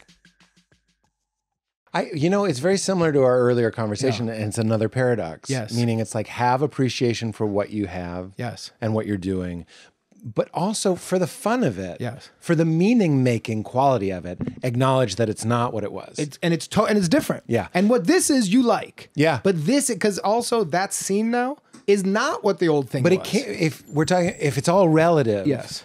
If, if we can just be completely grateful as Yes. if your movie wins an Oscar. I know Yes. you're not going for Yeah, yeah, Oscars. yeah, I'm just saying, if we're doing that, it strips we need to have rules. Yeah, I we have We to, need- but we have to have rules to our gratitude too. That's what I'm saying. Yes, I because there needs to be a clock on the game. There needs to be fouls. I totally agree. And then Yeah. with that, because when I say that, I do have gratitude.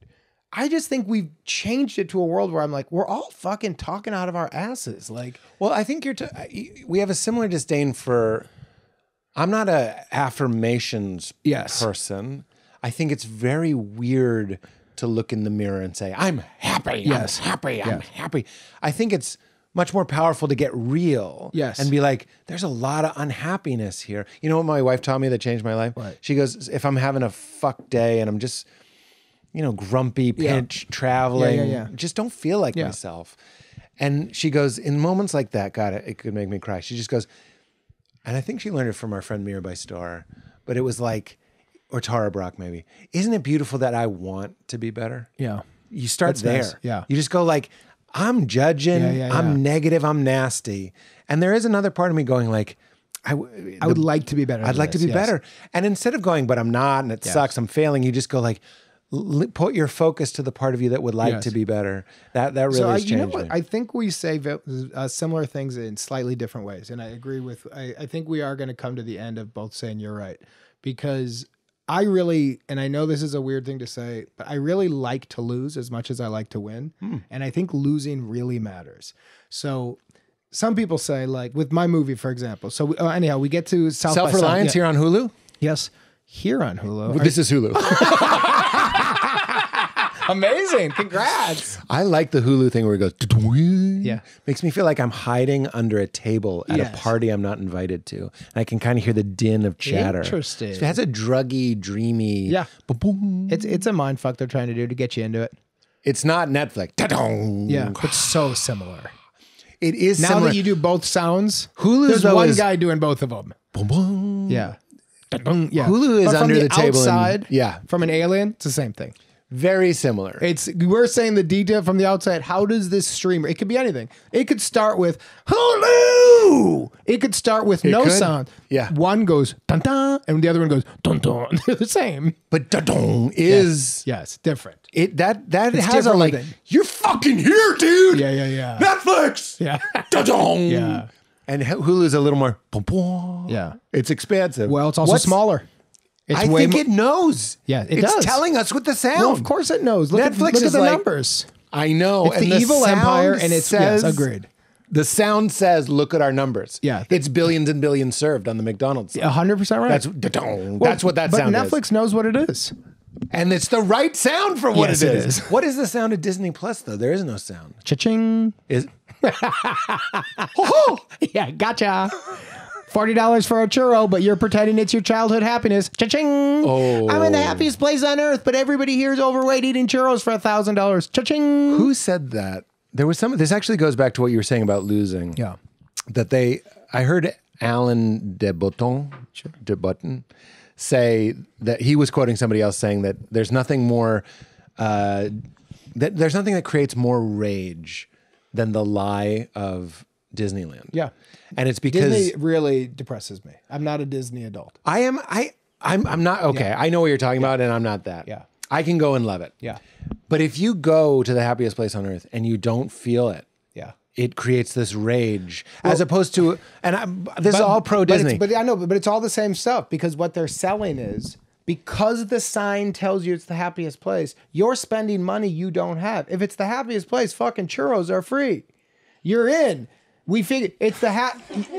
You can't say the happiest place, and this family's working their ass off, and all the kids want the same shit. And I know because of my kids. If someone's wearing those fucking ears, I want the ears. Well, those ears are costing you 80 hours of your job. This is not the happiest place. This is the biggest hustle on fucking earth. Can I say, go, t- I, I love that. Yeah. Tying into what Alan de Botton was quoting is you go, it, that seems like a revelation you'd have on psychedelics, where you're like, it's the happiest place on earth. it's Why does utter it cost yes. money? Why are there lines? Because they're selling you a lie.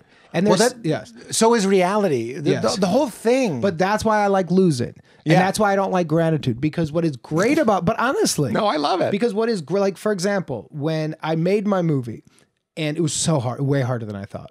It beat me. I was balding. My body was falling apart. Really? I couldn't hold food down for a while. Oh. I'm like in between there and set, I'd like lay on my trailer floor and make videos to my brother. And I'd be like, another wonderful day. Like PT Johnson at it again. Like can barely walk. So tired. Absolutely hate it. Can't So wait tired, so beautiful tired. Wonderful. Wonderful as good as it gets. Why am I making this movie?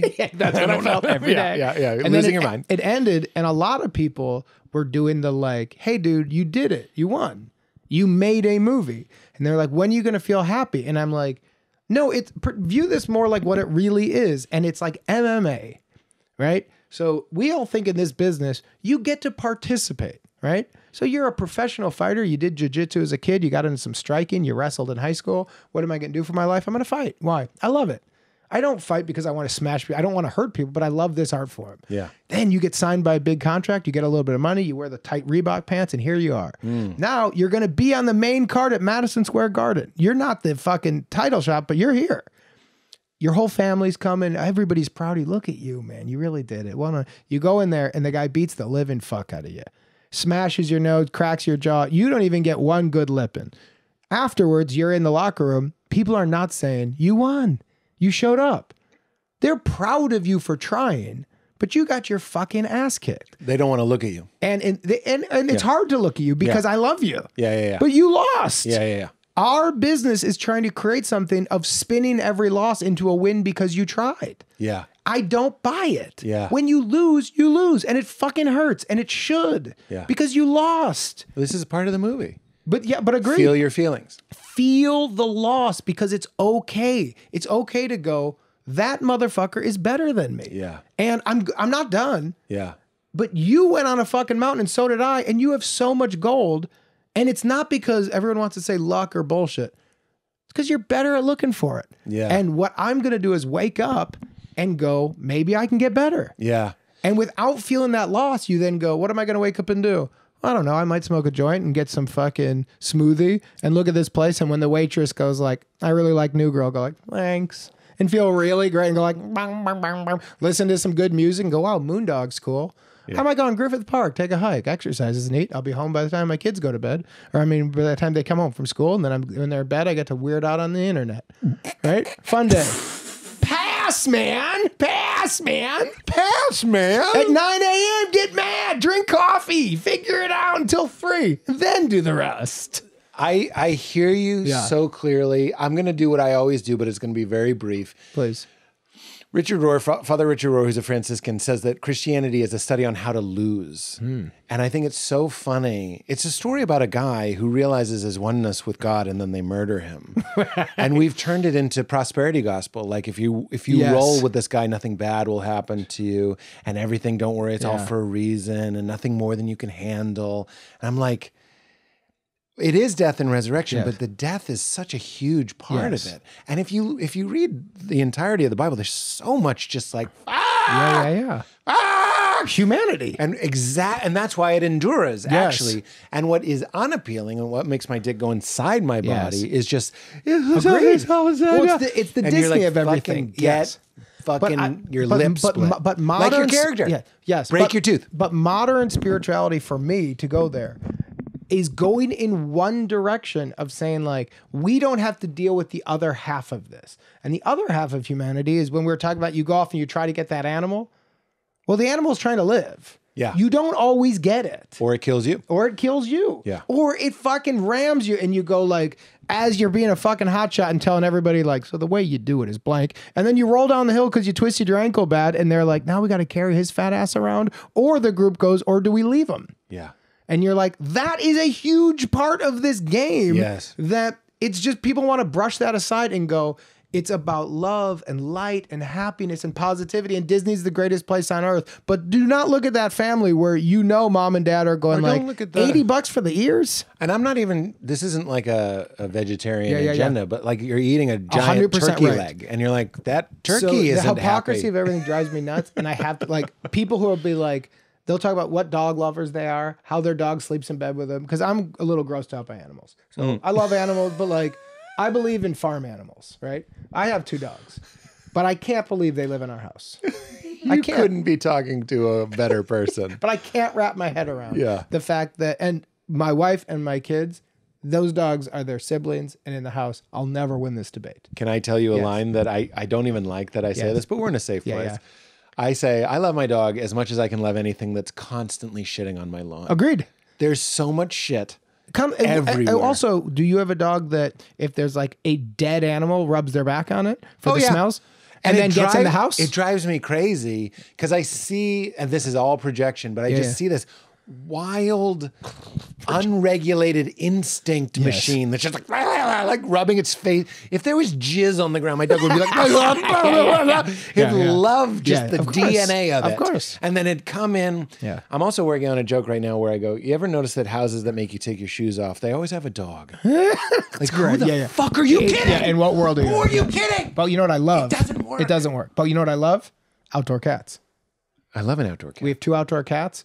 Uh, one of them, Peter. Self-reliant. yes. If I, I'm- is. I would have said that if your movie was called Jack and the Bean Dick. it was fucking. They're So, yeah. self. I, I respect it, And I I'm- respect. and I'm it. happy to pay for the food. And if something goes wrong, You mean the there- rewards? Yes, but I'm also I'm also happy to pay for the vet where you go like Pete's ass is in trouble. We our cat's named Peter, so and he's he's a bad man.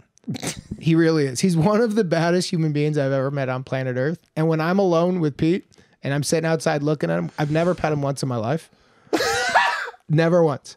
That's why you guys understand each other. We've other. had him. Uh, we lived in Atwater Village probably 11 years ago, and uh, he and his sister were kittens under a truck. And my wife found him, brought him in our backyard. His sister was eaten by a coyote. There's been so many times where you'll like hear all the coyotes, and Erin, my wife, will be like, "I'm gonna put Peter in the shed," and she can never grab him. yeah, because he's, He's out there. he's moved with it. us three times He's mixing it up because the coyotes. know his ass, and you don't fuck with Pete. I will every once in a while. I'll see him. I'll be in my neighborhood. He's on some random roof, and I'll just we'll make eye contact, and my thought will be like, "God bless you, man. Do your thing. You're out here living. you're out here living. it up. He'll be gone at night. We live near in Pasadena. We have real animals out there. One day they're gonna get him, and when they get him. I think I should figure out what I'm going to do in his honor when he dies. Something cool. This is like the island where he, uh, Leo tells the story about killing the shark, and the shark goes, "Enjoy your dinner." That's what Yeah, Pete yeah. will say. He'll yeah, grab yeah. them with his. He's dying, and he goes, yeah. "Enjoy your I dinner." that's right. That's and right. then he'll lay back, And then, or he'll fake gets dying, and then he'll get one in the eye. Of course, a little souvenir. Sou- souvenir. But I love an outdoor cat. Yeah. I can't wrap my head around that my dog's assholes aren't covered in my house, and they go on the couch and they walk around, and their tail hits everything. It's just they filth. go outside. They're wet. They get on the couch. It's raining. Oh, and I'm like constant paw prints. constant. And I go, I can't wrap my head around this. But I also know as somebody in the tribe, and that's a family, it brings joy to everybody else. So I also have to know, shut the fuck up a little We bit. are so similar on this. I, I have to train myself to be like, look at the joy it gives Yes. them. And that's good for me. It is. That's a type of losing I have agree. every day because I'm like, and I work on it. You know what? I've, I, I share this on the pod another time. I project so much. It goes back to what we were saying actually about like the dog is fed and he has a play. And, and So be I, fed and cared for if it lived in the back shed and was outside all day, facts. which I would love. If we, if I had a farm, I would love my dogs so much. Just running around. Work dogs, I think they're the greatest thing on planet Earth. Yeah. I did a Peace Corps thing when I was 18 and I was in uh, Costa Rica and I did something really stupid. But they said if you're if Spanish is bad, be in a city because there's English Immersion. immersion. Oh. No, Oh, like okay. no, like because you're supposed to be really good at Spanish before you go. If your Spanish is fluent, you can go more rural because the program hasn't been there before. Well, I grew up outside of a city, and uh, my grandma, like my family, was in the city, so I was in Chicago all the time. So did this program called uh, Amigos de las Americas. We're gonna build latrines down there, and I thought like What does that mean? Uh, Amigos. I'm just kidding. Could you translate that? friends, uh, and I thought uh, I did my uh, setup thing, and they said, "How's your Spanish?" And I said, "Fluent," and I said, "And I didn't come to do this to be in a city in Costa Rica." So they said, "Oh, you so you're looking for our more kind of rural, untapped things, meaning this program has never been there. Mm. So I'm going to have to be the one to explain to the t- people in the village what we're doing." Yeah. And I, I said yes. Because I checked all the like 10, 10, 10 in one direction, they didn't give me a partner. So I was dropped off in a village with no electricity, uh, barely running water. This is a true story. Dirt floors, Uh, I was in a house that had uh, the ceiling just wasn't fully connected. Cockroaches everywhere. Cucarachas? Yeah, I, just like you would literally be like there, a cucaracha goes over, you just go like this. The first night I got there, they said, uh, uh, in honor of you, I think they said, I honestly couldn't understand. I'm very dyslexic. I'm so bad at other languages. You didn't speak Spanish fluently. This no, was a no, no mucho español, pero solo un poco. Pero, Pero no, uh, no, mm, no mm, comprehendo. ah, Pero, no, pero you un, you speak more than you understand. sí, no comprehendo. Pero puedo hablar un poco. Y fuiste un mentiroso. No entiendo. You were a liar.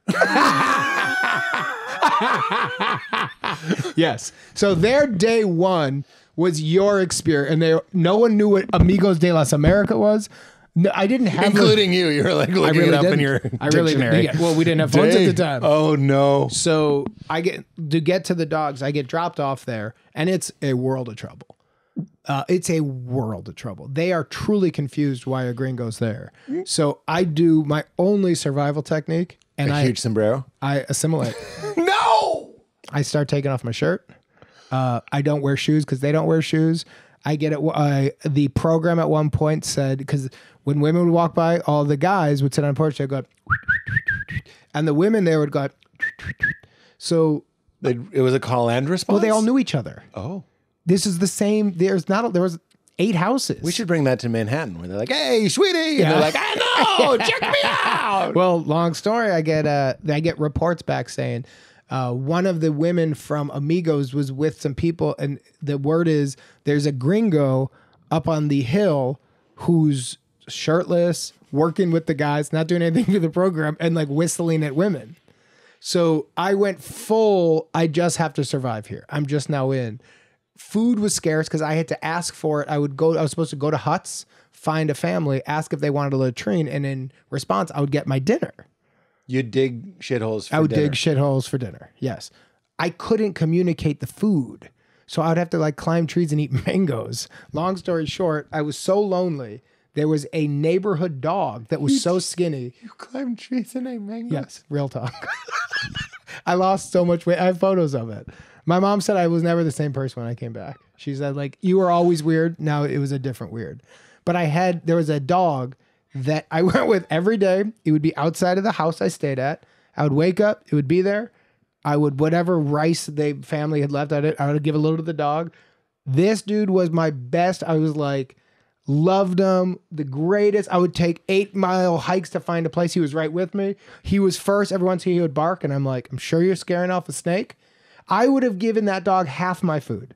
I would have done anything to protect it. My dog now, I look at this fat, lazy suburban piece of shit, and I'm like, all you do is eat and watch TV and fucking bitch and moan, and you stink and cry. If if I'm uh, wrestling with my kids, the dog will be like, "Me? You're not a kid. You're a dog. You should be in the jungles of uh, Costa Rica with me, helping me. Partnership. This, we've only been having one conversation because we're talking about thing. like Oh, a, yeah. a meaning of life and Yes. like finding something to do. And I think both of us are projecting onto our dogs, perhaps rightfully, Mm-hmm. just a sort of like, well, you just live at the spa. like fuck, fuck Yeah. you. And Well, if and I I, I No, know we're yeah. talking to a part of ourselves Yes, because that would be the case. Because you're a grinder. I grind, We both grind. rise and grind. Yeah, but look, from the outside, from what I know of you, you're a stand up, then you got an HBO show. Yeah. Nobody gets an HBO show. And you got an HBO show about house sitting and stand up. And now your show, you're with top stand ups. You're at whatever that's called, the cellar, where you're sitting at like the good table there. You're filming at that table. Yeah. You got Artie Lange. So that is a rise and grind. Then I don't know if that was the one with Judd, but I remember like Judd christened you Yeah, that was right? good, and yeah. then it was like, oh, you don't get that by being a fucking lazy dog sitting at home. You My just, dog is never going to have a TV show with Judd but you Apatow. just don't.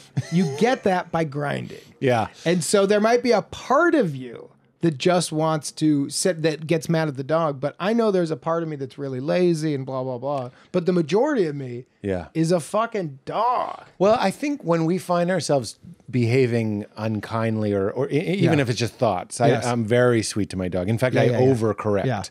This dog thinks I love him so much uh, because there's part of me that does. Yes. But like we, if we're being rough with somebody or a dog, I think we are just treating them how we treat that part of ourselves. Yeah. And we're getting a little glimpse. Did you see War of the Worlds with Tom T. Cruise? Who was he with in that one? Was that Emily Blunt? No, No. that that's uh, War of the Worlds was Spielberg, I think. Okay, no, I didn't see that one. Anyway, there's a part where Tim Robbins Yeah, the is in the movie, and uh, T. Cruise has to. It, who cares? I'm going to spoil it. Yeah, yeah. T- it's a great scene. It's it's T. Cruise and his daughter. I think it's Dakota Fanning, maybe. Yeah. it is. And Tim, it's somebody like that. And Tim Robbins is there, and they're all hiding from the aliens. And these aliens are like your cat, Pete. Yeah. They're fucking everything up. yeah, There's yeah. no fighting the yeah, aliens. yeah. And they're like, we're gonna stay here, and we're gonna find a way to like hide and find other people. We're gonna like escape. And Tim Robbins has clearly lost his mind, and he's like, we're gonna make a plan. We're gonna go out there and we're gonna fight these things. Fun. And then T. Cruise realizes the only way out of this is I have to go in the back. His daughter's there, close the door, and murder Tim Robbins. and Great dude, the, sequence. the amount it is, and the amount that I relate to that, the parts of myself when my wife in real life left me, Right. I had to go in the back with a part of Pete that was like, this guy isn't working. Yeah. Isn't that terrifying? Yes. But it was That's so. great. I like that a lot. I actually, when I say that, I'm not like sad that I had to Yeah. kill that guy. I had to do that with my drinking too. yeah, yeah, yeah. There have been parts of me that I was like, "Can I talk to you for a second? yeah, yeah. And Totally. I closed the door from the Yeah, yeah, sweeter, gentler parts of me, Yes. my daughter, Yeah, 100% right. and I murder shit. So, uh, so, th- but by the way, this is how we totally relate. So, when I said earlier, I compartmentalize. Yeah. So, with my wife and kids, there's a part of me that is really sweet and really different. Now, they'll see a little bit of the other guy when I'm pushing them to do homework. Like, you know, when I'm saying to them, like, I do expect more for you because I want to put a little it's dog. selective. It's But I, selective. but I also I want them to have the dog.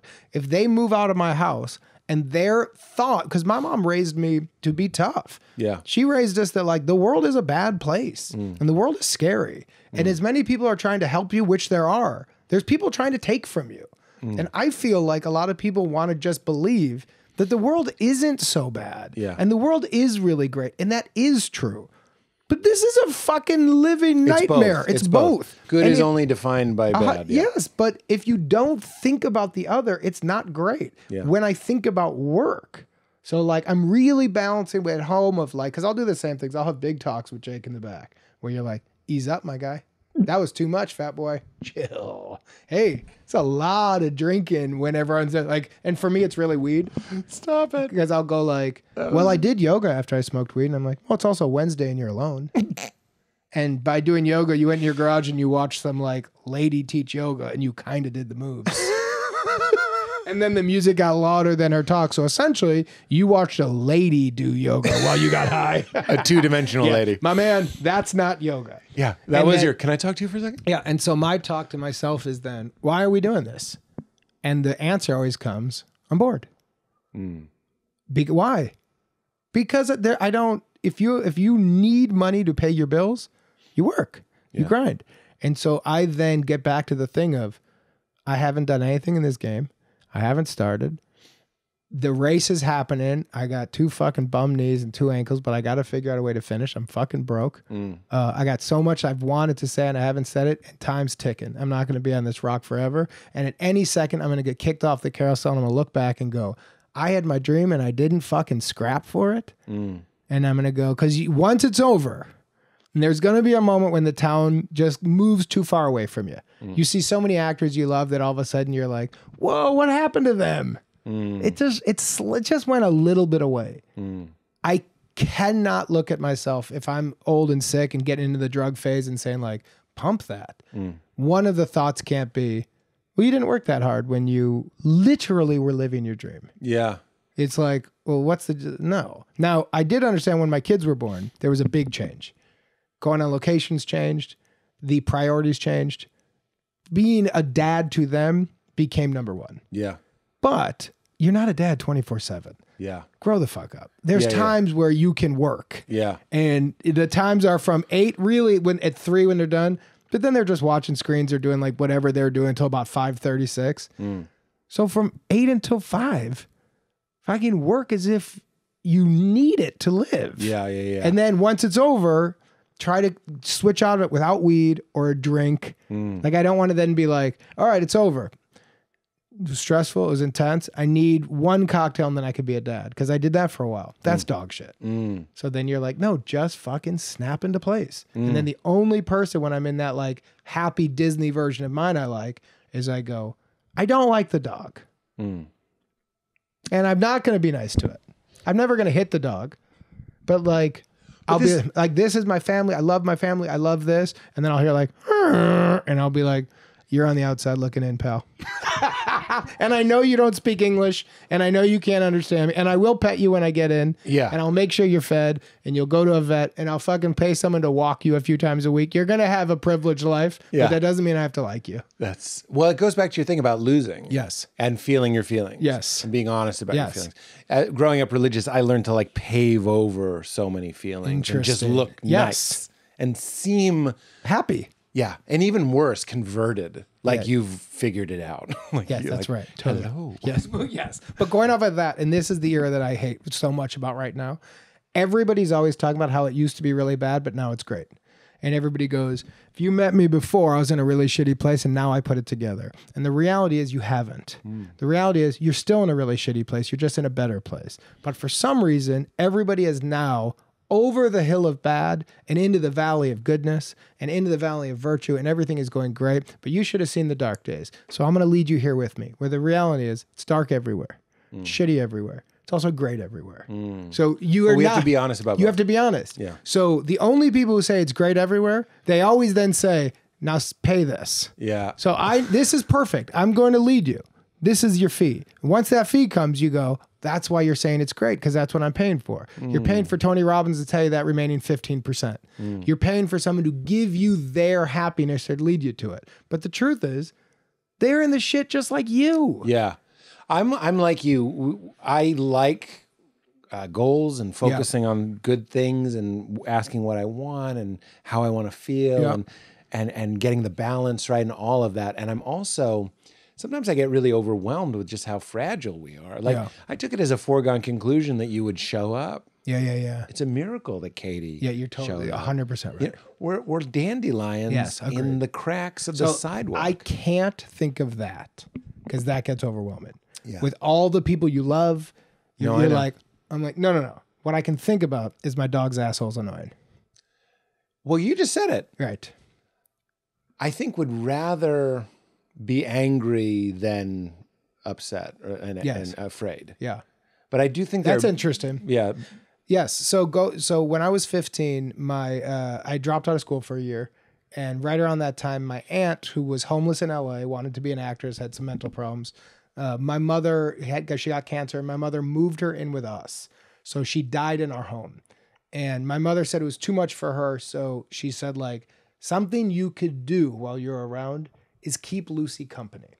So at the time, even though I was told she is going to die, we are past chemo. Mm.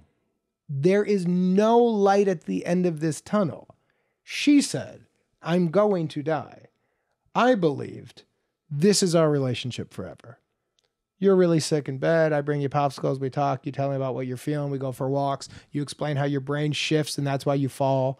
And I was like, neat. You explain what it's like to start deteriorating. I explain what it's like to like start living my life. And we have this great thing. And when she died, I was shocked. Really? Shocked. Because you weren't looking at it. Because that part of our existence, well, if you, I mean, It's you, overwhelming. it's insane. Yeah. But what I did get from that goes to this idea of wanting to be a dog and work. This shit does not last forever. And Right. that's a guarantee. Yeah. And there is going to be a moment for all of us, either fast and sudden, or hopefully the things start to fall apart. And you go, Well, I'm an old car. And now this doesn't work. Now that doesn't work. Now I lay down most of the time. now I have a drip. Now I'm connected. My dad used to say before he died, he would go, My life used to be so big. Now it's so small. Hmm. And it gets smaller and smaller. And I'm like, Oh, that's what would make sense. Hmm. But right now it's still pretty big. Mm. Because he would always say, he would go like, You're in such a great period. Mm. He's like, you know, he used to run a car dealership and he'd be like, looking back, it was so fun. I got like a big deal. We got like taxis. And he's like, I had fucking shitty Chevy on every fucking cab. It was the best. And I'm like, we'd be talking and I would forget because it'd be over the phone. He's about 130 pounds now and sick in bed. And when we hang up, he's just waiting for the next call. Mm. But there was a time he got the fucking taxi deal. Yeah. And I'm like, so if you don't get the taxi deal, let it kill you. Yeah. I'm like, because this is the fun. Yeah. Yeah. Yeah. And uh, And the ups and downs, the roller coaster. If it's all up, it's not fun. Yeah. If everything is great, I have so much gratitude. How's everything? That goes back to my buddy Eric. The maid was in the hotel room. We were standing outside. He goes, "This is perfect." no, it isn't. In 30 minutes, when we're drinking these Japanese beers and eating these chips that we just got from like the Japanese market, the game's on. This will be perfect. yeah. Right now, it's a bad moment. and if we don't acknowledge this, then when you say that's perfect, I don't trust you. Well, in the, you know, I'm a spiritual person. They call that the love and lighters. You keep saying that, but there's a term for it. Right, which is what love and lighters. Love and lighters. The the people that are all love and light, all, all love and light. Right. And you see this a lot in cults. Did Yes. you watch I uh, love cult stuff. Love is One or whatever it was on HBO? on The Ma- most on recent one, I haven't seen it yet. No. Well, you know, spoiler alert, it's the same as all of them. Yes. It starts there, and then this shadow that is un. Yeah. Because you're saying I can't see the darkness. Yeah. So and you, then it sneaks up on you. It doesn't have to sneak. It just walks up. Right. It just opens the front door. But that goes back to your movie is that like the feeling, it captured the feeling of like, I'll tell you this to tell you that. There was a, I live in Ojai and there was a, there was an earthquake and it, it wasn't big. Yeah. It was the biggest one I've ever been in. But, and my sweet little daughter ran to me and we went outside and it was actually kind of a fond memory. Yeah. Because I got to feel like a dad. Yeah, and yeah, yeah, Hold yeah, her yeah. tight and all that. And then later that same day, we went and saw, I've told this before, so I'll tell it quickly. We went and saw Shrek the Musical, little local production of Shrek the Musical. Fun. Four o'clock. But the earthquake had happened at like 11 a.m. So there's still aftershocks. So we're in the play and it was, it was great. Uh, you know, there were parts that were funny because it's kids, but it was great. yeah. Uh, I was unironically enjoying it and ironically enjoying it both. And every once in a while there'd be an aftershock and everyone would be, and the, the people on stage were like, and I was like, and I, this isn't a dark thought to me. Um, it's that's life. Yeah. Is we're putting on a play, Totally. and every once in a while there's an earthquake. And it gets really scary. And John Mayer quote, "We're slow dancing in a burning house," is is another way to put it. But I think the way out of that isn't around it; Right. it's through it Totally. and let let the earthquake inform and it did Yeah. i remember that play the ties of adrenaline and Yeah. that sort of stuff to memory and like all these that's why we have a hard time forgetting traumatic things but like we've said this a million times on the pod but ice cream wouldn't be delicious if we lived forever Yeah, and if it wasn't totally kind of bad for you Yeah. like we like that Agreed. and I, I, I, I'm totally with it. it's interesting when we talk about death though so you watched your mom your mom died No, no, no, my aunt. oh i'm sorry Yeah, yeah, you said okay. your, aunt, your dad died though Yes. and you've seen some of this. I just want to put this to you, kind of getting into the spiritual part if we want. Um, this Thomas Merton quote, I can't, he was a Trappist monk and a brilliant man. He had this thing where he goes, and this is shadow. My favorite mystics talk hard about the shadow. Yeah. They're not, Yeah, yeah, they're not love and lighters. And they go like, we all die alone. That's where he starts. Yes. He goes, we die alone. Totally. And this this always gives me a chill. He goes, you can pull everyone you love into your bed with you, but it's still you going on the toboggan. Yeah. And then he goes, paradoxically, the salve to that anxiety isn't denial. It's to explore what is it that you call alone. Like it's another way of saying that spiritual thing is who am I or what am I really? So you go deeper. You don't stay up here and go like, "Oh, I'm Jake. I made a movie. I was on the New Girl." Yeah, yeah, yeah. All that stuff is we know. Right. That's that Im- that image in the movie where he looks out the window and there's the cowboy with the gun. That's us. Yes. Even when I get up to pee in the night, I'm thinking like, "Whoa, Yes. we're so fragile." So there's no escaping it. But that going through that fear and into the question, "Who am I and what am I really?" is the only way to to go. What do you mean by alone? And you go so, So my- deep my- into your my, lonely. My uh, rebuttal to that is yes. Um, I didn't really finish Yeah. the point. please jump in. And it's going to be new agey, and that's going to Yeah, wind yeah, you yeah, up even more. Good. But when you get into the I, Yes. that says I am alone. Yes. What we mean by the I, which is your consciousness, which is your awareness, which is being itself, and you get curious about the nature of that being, you recognize that it can't be alone. It's the same everything is everything. Right. So it's the opposite of alone. Yeah. You could call that union with God, one with the universe, whatever it is. But isn't it funny that the answer, or as I said earlier, the salve to existential loneliness is actually go deep, as deep as you can into it Yeah. and explore that spacious void Right. and go like, this isn't a void. This is, See, I think that's a spin. Tell me. Um, I, yeah, I think that's a great way of looking at dying alone. But when you die and you see the person go from living to not living, it's they're there and then they're just a body sack. Body sack. and it happens fast and it's grim and with my aunt you know we had, we changed her clothes so i like pulled the arm through and the person On her dead body. yeah so like she died and then my mom you know didn't want her in those clothes she was just freaking out and so my other aunt and i like had to take her clothes off and put a different outfit on her and the person that an hour ago was there and part of this oneness of all of us Yeah. This was like if you ever see like a dead animal, you go like a not butcher that. shop. Yeah. Yeah. You're like the chicken might be Is- part of the oneness, but it's also just you know you go to a Chinese restaurant, you see ducks hanging that just look like ducks. Yeah. Yeah. Yeah. You're like It whatever, becomes an object. whatever the thing was, is it's gone. And so this idea of oneness, possibly. And when I was raised, I was named after an uncle who passed away, and the idea was my soul. My body would be a place for his soul to be, and we all believed it. And it was all really nice and good. And my mother believes she's Hmm. Kind connected. of a burden, though. Uh, it wa- it wasn't in Oh. my family. It was more just like you know he died at 26 on a motorcycle. It happened too fast. Everybody loved Mark, so I was Mark. Hmm. Uh, it didn't feel like a burden. Felt more like fun. When my uncles are drunk, they get to go like, "We love you, Mark," and I'm like, "Okay." you love Jake too, and they did. So I'm like, win-win. Double love. Yeah, but then it started feeling like the point of like, I was like, well, this is fun to believe in. Hmm. This makes my mom feel good. This makes me feel good. But, is this shit real? Hmm. When you're on that actual deathbed and the darkness is coming, I guarantee it feels better to say, I've spent my time, I've gone so deep. I believe in a oneness to all of this. That's a wonderful way to choose to live your life, but it is a choice because maybe, or maybe, it, or just blackness. And I'll give an example because my dad and I used to have these big talks like this. So my dad was, he left when I was two or was kicked out at two. Don't really know the backstory, but he was a, He was kicked out. uh, most likely. I'm just kidding. But, or he left. I was. Yeah, I was pretending like I was there. Yeah, trust me. Yeah, he was yes. But he was a drugs and alcohol guy. And then when I was 17, he sobered up. And then when I was about 25, we became friends. And I lived with him when my career bottomed out in my late 20s. And we would just have these, we were both insomniacs. So we would have these without mics mm. and just get into it and let it rip. Mm. And any perspective, you know, uh, oh, we could try, try, try. And then he finally said one day, he's like, let's make a deal. And this is when I was 26, 27. He goes, he goes, when I die, let's do something together. I want to be cremated. You're going to have some of my ashes. And he goes, I want you to break into Wrigley Field and put my ashes on the right side of home plate. Scatter them in and take Like in the batter's box. like if he, like as if he was a right-handed hitter. Mm. My dad loved the Cubs.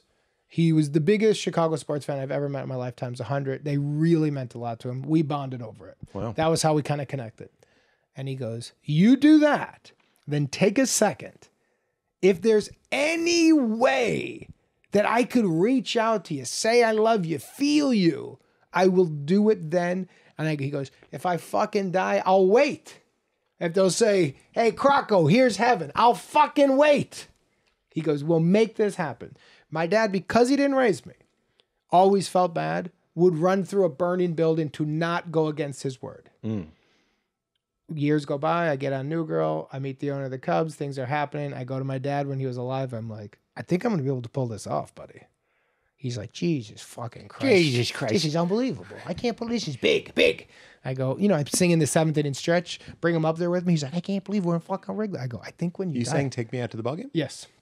He's like, I can't believe it's going to happen. I was like, it's going to happen. Uh, he passes away. My brother and I have the ashes at his house. We know it's going to happen. I reach out to the Cubs PR, or they reach out to me about something, about throwing out a first pitch. And I say, absolutely. I take the ashes, they're in my pocket. My dad's nickname was Croco. Krakow. His uh, where he lived was 425. That was his address, and he used to call his house the 425 Club. So I wore in the jersey. You put your last name. I put Croco and 425. It was all to him. I get out there. I put a little bit of him on the uh, pitcher's mound. Wait, they're calling you out for the pitch? Yeah. And you're like, one second. Nope. You open a vial? I, do one of these. It's in my pocket. I go like this. Go in the mound. Drop it like this. Wait, you did it on the mound? Yes. And then I, you're supposed to do it on the batter's box. story hasn't finished. All right, I'm glad because you blew it. I throw the first pitch. I go shake hands with the catcher guy, whatever, take the photo. I then walk on my own to home plate, take some in my hand, put it on the right side, smear it in as if I'm a big fan, just touching the dirt. I go like this. I stop. I look up. I take a whole beat. Nothing. Then during the uh, national anthem, uh, there's two guys who do it playing the saxophone my dad's apartment in the 80s was very 80s single guy who probably does too much cocaine. A lot of the artwork was like ladies playing the saxophone with no clothes on and silhouettes behind like, you know, like shades. My Or bro- on a mirror. Yes, it was just trash. My brother and I start dying laughing, tears streaming down our faces. And we were like, this could be. And then I went, this is the spin. I didn't feel him. The spin is he came through the saxophones. Right. The oneness of everything to me is the spin. The story feels better Yeah. that he did tell me he loved me. Yeah. But the reality is, when I was on the field and I waited, the thing that we said he couldn't do because he wasn't there. Right. And to me, that's Because he wasn't there. You sounded like Albert Brooks. Because he wasn't there. Because he's dead. Because he's dead, all right? Because when it's over, Pete, it's, It's over. over. We're sexy shit. But you're here now, kiddo. Good to see you. Good luck with the radio show. You're a wonderful. But now it's time for me to go. Where's my car?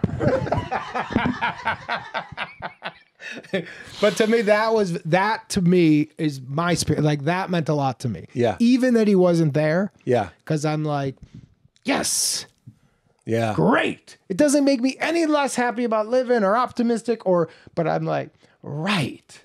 And I'll tell my kids I'll create something fun for them to do it and I'll say I'll try my hardest. And if you want to spin it, spin it. Yeah. But if you feel it it's real, that's great too. right.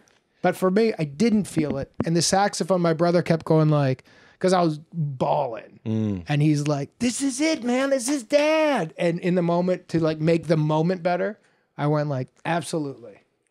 But I'm like, No. no. we knew what we said. It wasn't, you know what I'll do? I'll have two guys play the fucking saxophone. I'll go like too far of a spin, my guy. If he had, that would be pretty cool. yeah, if he did, it'd But be you see, I don't really put too much stock in in that. Like, even Yeah. if you were like, and the saxophone's name was Croco. Croco, yes. I, I I don't really care. Yeah. There was a time in my life that I loved miracle stories Yes. or things like that, and I'm not bullshitting you. Yeah. I'll just say and see Yeah, how you yeah, respond. I'm more interested in how you respond. The awareness that your dad was Yes. is looking out your eyes right now. The awareness that my dad was is looking at what does that mean? There's only one awareness. Yeah. you and your dad are as connected Yeah. as anything. Agreed. Meaning your dad was a wave. He took the apparent image of Krakow. Yes. The wave crest sizzled onto the beach, got pulled back. He's fucking gone. Yes. But the water, oh, total- the water yes. is still there. Agreed. So when I tell my daughter, Yeah. There's nowhere you can go that I'm not with you. Totally I mean agree. that a hundred percent literally. And I will not be telling her when I die, where would I want my ashes? I don't know. It's the comedy store. I'm just kidding. No, no, no, no, no, no. Don't You curse me. Don't curse me. cut him saying it's no. a scary place. it's a scary place. Just say comedy store and cut there, and we got him now. That's where we're burying him. maybe Largo. but I, I, I Yeah. It's not to disc, uh, discredit your. I love the No, no, no, experiment. no, no, yeah, yeah. But your dad, when Ramana Maharshi, this great Indian saint, died, that his he had cancer or something, and, and his followers were like, "Don't die, like heal yourself. Yes. You're like this miraculous guy." And he goes, "Where could I go?" Right. It's this is all the Yeah, yeah, yeah, all yeah, the yeah. biggest truths sound so stupid, Right. but there's no time, there's no space, No. and there's no separation. It's just this. Yes. and that, even that is saying too much. Yes. So your dad, we can honor that he's gone Yes. and be like, where could he go? Right. Where is this nothing that we're talking about? Yes. But here's the other side. He's also gone. And he, yes. I, I would say he. Okay, so the Zen, uh, Yes. the I believe it's Chinese Zen. They say death is like a vase, Yeah. And the air in the vase, and then you break the vase, and the air that was in the vase goes into the air. Yeah. It's gone. The the vase Right. vase. Yes. the vase is. Oz is so much nicer. I know, and you said ant, which I appreciate. I also say ant. Um, the the vase Yeah. is gone. Yeah. It's another paradox. Yeah. Your dad's gone. Yes. And he was never here. Here, I'd, I'll go even a little harsher because you love the harsh. Yes, An illusion cannot die. Right. Well, so then Disney, but then thing is Disney like- is the happiest place on earth. I agree. I'm about to pitch them something, so I agree. I'm just, I'm just kidding. But so, but that idea, like, but that is significant because it's two ways of looking. what at do you it. mean by that? So he is not gone because we are all everything and we are all here at the same time, and that is wonderful. And you'll never leave, and I'll never leave, and everyone who's ever been here has ever been here, and we're all part of the same thing. Well, the other thing is, my dad and I during football games would text and FaceTime and talk the whole time and laugh our asses off. Well, that's gone. So I could say, well, I feel him. He's here and he's still here. Sure, but he's also not. And that, but also, I think it's both ends. Yes. I, am so with you. yeah. No, I'm sorry. Keep going. But I'm okay with the thing of he's gone because he died. And when he was here, We've- it was great. Dude, we've Yes. only been having one conversation. It's Yes. Del Close. It is, it's the same He's stuff. He's gone. Yes. And John Mayer is not Jerry Garcia. Yes. But this is great too. But it's also great. So a buddy of mine said about his dad had died, my buddy Clay Allen, and when my dad died, I was really sad and broken up. And he goes, Here's what's hard. You and your dad, your relationship was a book. And the chapters were being written, and he goes, There's no more new chapters being written. Mm. That book is done. And he goes, But the relationship isn't over. It's just now one-sided. And I didn't get it at the time. I went like, yeah, but I want the chapters to keep going. Yeah. But what's ended up happening is things will happen that I'll know he'll love, like the podcast. He would love how much I'm turning this into a business. He would love how the numbers You're out just- there with the Cadillacs. But he would love it. Yeah, no, of and he he would, would. go like, so because what I love about it is the business of it is I love the direct to consumer. I love the idea of fuck if this audience continues to grow at the pace it's growing, I might do an indie movie and try to release it direct to an audience from a website Mm. and cut everybody else out and go if there's enough. Tell let's do a poll. How much do you think this money this movie should be rented for? I think you could do entire shows direct to audience. Yeah. And I'm like, but before you used to have to wait for them to tell you how it was doing. Yeah. So they would break down their reports and you would go like, how we doing? And they would go like, we'll schedule the call in nine days. Yeah. And I'd go, well, I made the fucking thing. I would like to know exactly how it's going. This is a direct thing. So the actual piece of art, my dad didn't care about. The thought behind the business. So I will do moves that I will think, oh, he would fucking love this story. And it feels good. Yeah. But I don't get to tell him. So it's a new way of telling it. It's still sweet. Yeah. But it would have been so fucking good if he were alive to hear this. He would love it. Then I could hear about the fucking dealership. We could have two hours, Mm. and he would go like, "This was so fun," and I'd go, "I agree," and then I'll go, "But I gotta hang up because I'm in the driveway now." Bye, and he'll go, "Bye, call me later, later, bye." We'd hang up, and I'd be like, "It was the best." That's gone.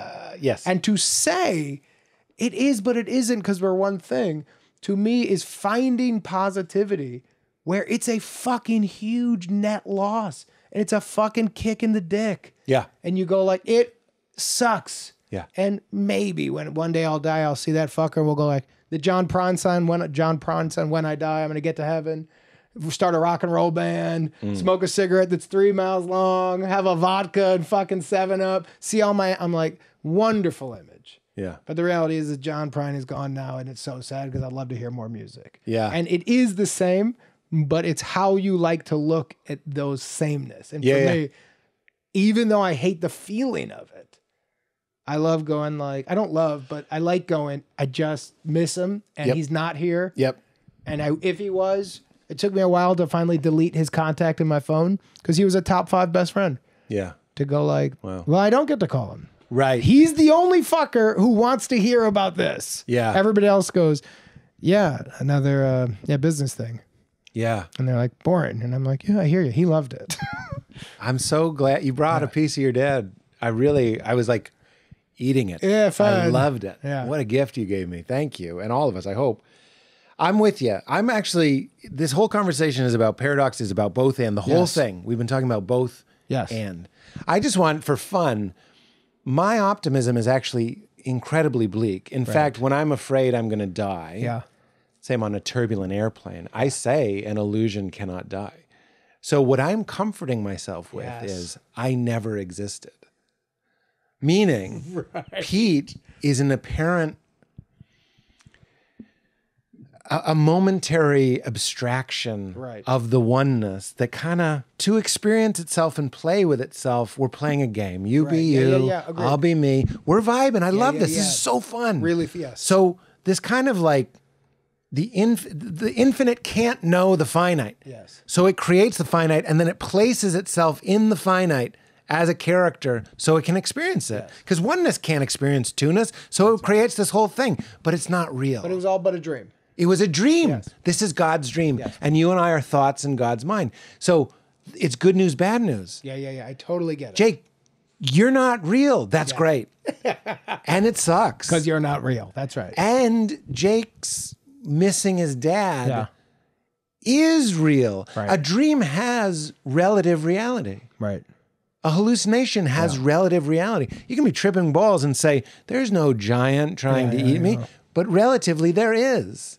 So it's all both and. And anyone who's trying to tell you it's not, Yeah. it's just this and it's not that. Yes. There's so much mourning. A lot of my spiritual practices is coming to terms with my fear and my anger and my despair. It's not just going like, I'm just the oh, air in the totally. Vase. yeah, yeah. I'm like, oh no. But you have to get really honest and fierce. It is like going into a cave with a torch. Yeah. I, I forget which mystic said it, but he's like, there's like Jesus or whoever you, you got leads you up the mountain. And then they go, that's the peak. And when you go up, he doesn't come with you. And you're not there. Yeah. And Jesus isn't there. And God isn't there. But but there's a there's something, but you can't even talk about it. But it, it's it's a heartbreak. They say enlightenment is the ego's final disappointment. Right. Good news, bad news. but an illusion Yeah. cannot die is only. Yeah.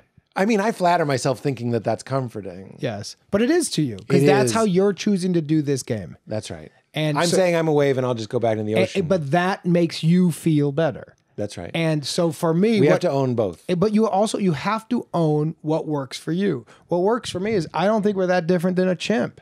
And so I don't want a chimp being like in a tribe being like this other chimp is it really taught me a lot. That's my healer. That's my this. This person has led me down this train of thought. These other chimps really get it, but that chimps don't get it. That group over there, I'm like, Yeah. yeah, we all are going to come. We're on this rock. This is what it is.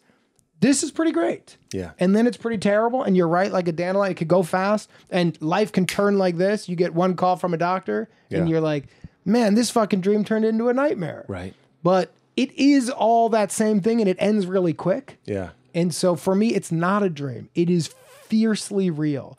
And if I'm on a plane and I have that moment where it goes like this, I think like, fuck, my kids are still too young. Yeah. Like it's just I'm not No, like but it's both. I have that too. Yeah, yeah, yeah. I don't want. It's called spiritual bypass. Yeah. What we're talking about is your dad dies, Yes. and you go, but he's just the air in the vase. Yes. I would say, Jake, you're spiritual bypassing. Right. You're not feeling it. And Val, my my wife, I know I've said that a million times, but Val is the one that always just goes, put your hand on your Yes. chest.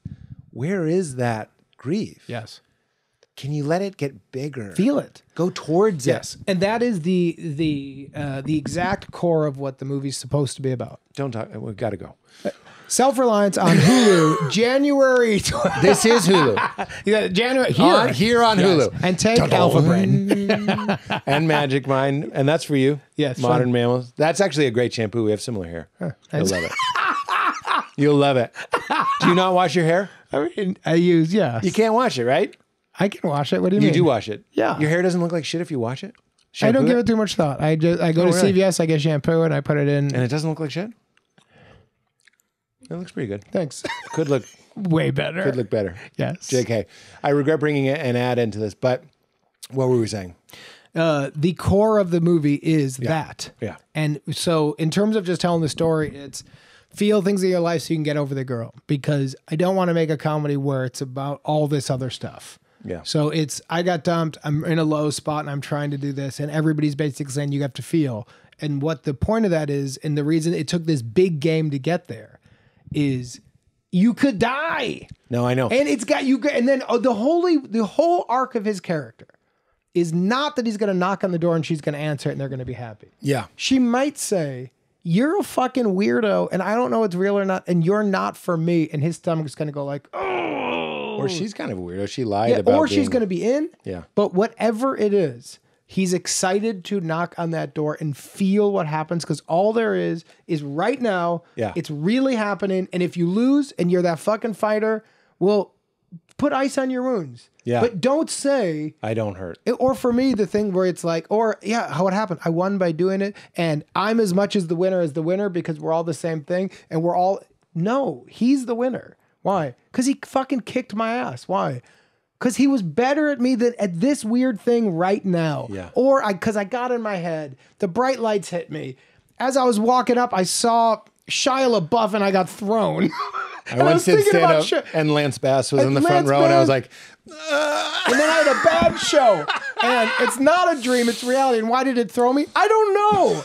But I spent the whole fucking time think I did a one thing with me, Max, and Lamorne, and Ben Affleck was on the stage in the, in the watching. Was one I was terrible. Yeah. And afterwards, I thought like that's a net loss, and they're like, "Oh, it was fine." I'm like, "We weren't good." The entire time, I just thought like, "Here's Ben Affleck." yeah, yeah. And I can pretend not to be a fan, but I'm a fan. He's He great. you. he changed my whole he afflected you. headspace. He che- He affected you. We're the same age. Good Will Hunting was such a, a shift for me. I me. agree. I'm from Boston. Oh, interesting. So I saw Ben Affleck in Harvard Square after that movie came out. Interesting. And I loved it so much. I worked at a movie theater. I, I cut scenes from the film from the trailer. I don't know. Yeah, yeah, you This is this is my version of Yeah, yeah. what did you do? You did something similar like, like it doesn't matter. Yeah, yeah. I had frames from the movie Amazing. and I showed it to him in my wallet and he he initialed them. He No way. He's so sweet. What was the project that got you, or the person that got you wanting to do this game? do this? Yeah, the whole thing. Uh, Like, it what wa- was the thing that you were like, "Oh, I love that"? It's a great question. I think one of the answers is Good Will Hunting. One of the answers is the book SeinLanguage, Yeah. Jerry Seinfeld's book. You loved because it. it was clean and I was religious and I was like, and I didn't know. You said I could do that. There, there was. Uh, I'll go darker. I can do this, and mother won't disapprove. Right. Like real fucking Yeah, yeah. Freudian stuff. But now uh, my mom hates my comedy, and I couldn't be prouder. you know what I mean? What an achievement! It what an arc! Imagine if I was still going on stage and being like, soap. Yeah, yeah. Fuck that. I love I love that my mom is like, Petey, sweetie, why do you have to talk about hates such things? Because I'm a grown man. I'm a grown man. You fucking look at it. or I just go, don't watch it. Yeah, yeah, yeah. I actually it's it's it's it's a point of strife in my life. But Yeah. if you were watching my movie, I'd be Yeah, yeah. so proud of my character. I, Yeah, I know yeah, maybe yeah, that's yeah, weird yeah, to yeah, say. no, it's nice. But the Pete that was going, it was a little Machiavelli, Machiavellian yeah. where I was re- reading SeinLanguage and I was like, this is my way into the pirate life Right. while getting the approval that Yeah, I yeah, still yeah. need. Interesting. Because I can't do it without my parents think I'm okay. Yeah. Now I can. Yes. But it took SeinLanguage by Jerry Seinfeld. That's really cool, Isn't man. I was reading portions of it to her and she was laughing. I was like, I got it. Yeah. we're yeah, in business. We can win here. And then I did that for like seven years, and then my wife left me, and then I got funny.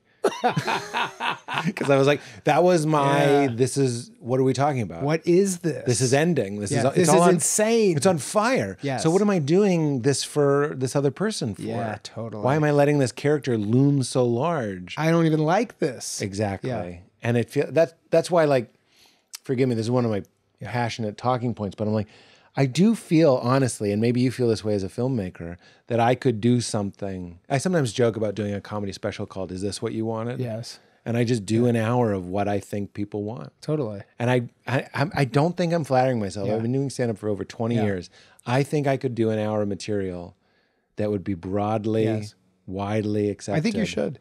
So, uh, but the You think I should? yes. I can't. It's death to me. So I, so I, that goes. That's like being in church again. Int- well, so mine's different. So uh, I've had a I had a really big realization in this process of this movie and going back to the why of why we're doing it all. And I fundamentally feel as if audiences have gotten forgotten. And I fundamentally feel like we as performers have made it all about us and our process and what we want and Oh. our journey. You mean Han shot first? What's that? George Lucas Yeah. recuts the Star Wars movies because it's about him, and it's like it's not. Oh, interesting. It's for the fans. Yes. and So- Han but- shot first. Yes, but I, I I fully feel like we have all we've gotten so into in between our own years in this town and the celebration of this town and our awards and our credit and who's cool and what studio's cool Yeah. and what critics like you. And if a critic likes you you're cool. And if certain cool people like it and it's good that means you're good. But if these people don't like it that means you're bad. And if this person says you're funny then you're funny. But if that person laughs maybe you're not funny. Mm. And if that person goes dude you're a filmmaker great. Or if they go yeah I like that little thing maybe it means something different. Mm. And I've been so wrapped up into this bullshit and I realized in doing this if we are anything, you go to New Orleans, you're walking down, you see like eight kids dancing in, uh, for money, and you stop sometimes and you go like, Jesus Christ, these fucking kids can go. Yeah. And you're drunk and you throw some money in and they go, and you're like, great. And you look and you're like, these guys are making real money. And then you walk down a little bit and there's somebody else who's not as great. Someone's playing the saxophone and you look at their case and you go like, not as much money. And I'm like, we've forgotten that's what we are. Mm. I don't view us as fucking teachers. I don't view us as guiding people to anything. I view us as we give people a break and we entertain. And I'm that. like, and I love thinking like that. I love what you Yes. just said. I won't forget that. Yeah. I feel like every podcast there's like one or two things, and I'm like, I'll, I'll remember that in ten years, and I think that was it. But I'm going to counter by saying, here's when I if I did the special, is this what you want? yes. I would be doing an impression of other people. Oh, I gotcha. Oh, I thought you meant what? So here's the difference. You- I'm, I thought you meant I'm doing what. always trying to do I something that meant- will blow them away. Yeah, I thought you meant doing what you love, but you know they're gonna love it too. no, no, no. Oh, okay. I am Never mind. captain. Oh, you mean- I cut yeah, yeah. precious Yeah, yeah. bits. Never mind. My favorites. But I'm going to tell I you that something wrong, that yeah. I no no no. Yeah. I, I'm glad we circled back. But Conan, name drop, told me he was like, what he thinks of show business is a room with 10, 100,000 people playing instruments. Yeah. And some people are putting down their saxophone and picking up a keyboard, and then they now they're playing the Blue Man Droop uh, Blue Man Yeah. Group drums. And he's like, all I did was I banged my triangle. Right. And he's like, I just did that for 10 years. And then finally someone went, what is that? What is that noise? I've been hearing that yeah, for 10 yeah. years. That's more my approach. Meaning, Interesting. I think more fans or whatever, meaning for its own sake, a broader appeal is coming for me. That's a goal of mine, but it will come from banging my Yes, triangle. agreed. I'm I'm waiting for someone to go like, oh, th- this guy Pete's been great. Yeah, yeah, yeah. You know what I mean? That's but but it's the same thing of the street performer. That dancer, that when you give them the money, it's because they're doing exactly what's working for them. Yeah. But they're entertaining the fuck out of you. Yeah. So it's you you see when so- you see when someone's doing something that you're like, oh, that's purely you. Yep. But I feel like what the the big thing that I've forgotten about, or at least not thought about as actively as I am now, is at home I'm a relationship with my wife and my kids. That's my real life. At work, I am in a relationship with the audience and they matter. As opposed to I'm in a relationship with my creative self. I hear you. and I have to do what I want to do and what I've been dreaming to do. And if I do that, you will come Yeah. And to go, well, they're here right now. Yeah. And this group has supported me since New Girl has started. And I appreciate it. So rather than me just go, well, where I'm at here, there's a thought that I'm having of like, well, where are we at? Yeah. Where is the thing that really works for me, that really works for you? And I'm like, and that feels like a really fun game in terms of like with the podcast. Yeah. You have a direct link Yeah. and you're like, oh, like we were doing a lot of like sex stuff that was really making me laugh, and we started feeling like people were going down, and comments were like, it's a lot. Like, be like, I'm a mom, I'm literally doing uh, dishes uh, while my kids are sleeping. A lot of orgy talk, Yeah. and then we would like, You took the note. sure, Yeah. But then look, they don't go away. Yeah. But we're like, literally, we're talking to producer Kevin, and we're like, maybe we'll do a little less like that. And he goes, yeah, I kind of agree. It's getting a lot. Then all of a sudden, you start feeling a change, and you go, oh, this thing is alive. And we're doing it together. And I think that thing is alive with everything until it's not. Mm. Yeah. Like now my movie's not alive. Now it belongs to the audience. Mm. But I'm like, oh, this idea why I said at the beginning, like, I wish I could start it now. I've now seen it with enough people. I've heard enough stuff. I now know what I think it's about and what the majority of people think it's about. Yeah. So I'm like, now I'm ready to start making it. Yeah, yeah, yeah. And I'm like, Yeah. ah, But you're- fuck, you're it's done. over. I started laughing while you were talking. I love everything. I'm gonna play this clip. Do you mind? no. It's from New Girl. It's you, Hmm. and it fucking killed me, dude. And I've never done this on the show, but my Val loves New Girl. It's not that I don't like New Girl, but no. she loves New Girl, I appreciate that. and she sent me this clip of you pretending to be stoned. And I just want to play it for you. My wife sends me a lot of videos. Leela, Leela ice skating. Okay, here it is. Dude, I'm going to preface this by saying she sent it to me because this is me when I'm stoned. My- when she does an impression of me when I'm stoned, I go like this. I go, I go, ask me anything. Because I think I know so- everything. I'm so high, I go, ask me anything. I'm willing to go. I know anything. and you're kind of that way in this. You're not an expert. I am. Nobody knows we're stoned. We didn't go, then they'd know. You're saying that if we don't go to the party, they're gonna think that we're high. Oh, the guy who's never done weed. It's not the proper term. It's smoked weed. You don't do weed. That's a test. You said it. Listen to me. First order of business, we eat their food. Okay. Then you look at the pool. Oh, what a great pool. I wish. I wish I could die for rings. Because if you were stoned, you wouldn't die for rings. Um, I was just thinking of this impression. Who am I doing? Who am I doing? Al Pacino? Maybe.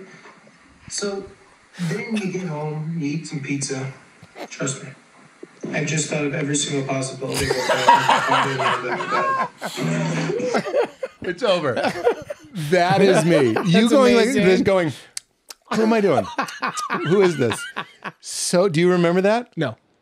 That was just Damon and I improvising in cross coverage, goofing around. That is so funny. Is that what you're like when you're stoned? Uh, no, No. no. That so Damon and I are old. We did a movie together. We did. We became very close. So we know how to make the other. He's one of those people. When I was talking about Vince Vaughn, Damon Wayans Jr. is one of the funniest people I've ever been around. Mm. One of my favorite humans on planet Earth.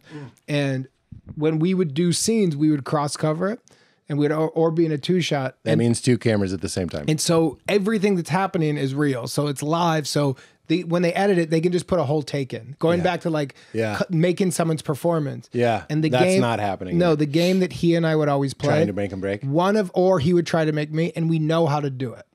So he would know like, What is oh, that? Who is it? You're trying to make him I'm laugh. just going to his sense of humor of like, this is, I know I can get Damon on this, and whatever I have to say, I will sell out for Damon. And going back to the audience bit, my whole game, and it's why going back to the Del Close, why I missed too. It was make your partner funny, do the scene, this and that. And so my whole thing is I want to make the scene partner laugh and I want to make this real. And I've realized, man, I should be thinking about the audience too. yeah, yeah, yeah. And I was like, I've missed that. I win on a day like that if afterwards when they called cut, Damon does like his big laugh and goes like, "What the fuck was that?" Yeah. And we're cracking up. Yeah, yeah, yeah. And then I've thought I forgot about it because I felt like it's over. I won. Yeah. And I'm trying to do that recently of like, yes, I want the scene partner to laugh, but like, imagine if all the energy was thinking about when somebody watches it at home alone. Yeah. And Yeah. I was like, I don't, I know it seems like a goofy thing to keep saying. It's really significant in my head. Yeah. And I'm like, I think I've abandoned them for years. I get it. Yeah. I, you're you're catching me just at the right time. I'm am, thinking yeah. about that money in the New Orleans Right. guitar case. Yes, interesting. It's so important. It's so, but you've got to be they. You've got to be doing what you do. yeah, yeah, yeah. Because But- you see the people who fake it. Yeah, You'll that's- be that's like, what I'm you're saying. really talented, but like, I'm Yeah. not putting money in your guitar playing. Yeah, yeah, yeah. I'm not into you. I always say it's like a bad date when Yes. someone's doing an impression of what they think a date should Yes, be. totally it's right. Totally wrong. That's right. But the good date is is like it's just magic. yeah, it's like and and you're being real. Yes. Not to be weird. It's kind of like this. Like Yes. I'm not trying. Same- 100%. right, You know. And it's like my dinner with Andre. you Yes, know? like why is that movie so captivating? Yes. It's because you remember what like two people. I'm being Wallace real. and you're Andre. If we're doing the comp, I'm Andre. I'm Wallace. Andre the Giant. Inconceivable! This was incredible. Wait, he was in a movie with Andre the Giant. yes, of course he was. and then he was in. I, Yeah, do you you're think right. at any point, real talk, On set, he they did- said, "Eh, "It's my dinner with Andre the Giant." And I bet Billy Crystal did, and everybody else did. And Wallace Shawn, who's pretty serious, was probably like, "Yes, that was a different project that I did, but this is this own project." Humorless. Yes. that was a different film. Yes. Well, that was a serious film, and this is you guys clowning around with prosthetics. And me and Andre don't have prosthetics. My impression. that is so funny. I okay. My impression of Andre the Giant is him seeing some fans Yes. notice him, and he goes, "Do you guys want to say bonjour? Do you guys want to say bonjour? Yeah, pretty good. It's okay. Yeah, But it's Uh, fun to I do. just saw a thing on Instagram Mr. about him that he once drank 130 beers at one sitting. Hmm. And once on a plane, he went to the bathroom and it smelled so bad that people were like having like a crazy reaction to it, and they almost landed the plane early. He messed worth- with air traffic. Yeah, but like enough so that they most and look. Could this be another lie? Possibly. I believe it to be real. Yeah. But the he went to the bathroom. It smelled so bad that it became a thing on the plane, and most likely he had to go like, "I'm sorry." I'm sorry. I really have to go. I should not have had the fish.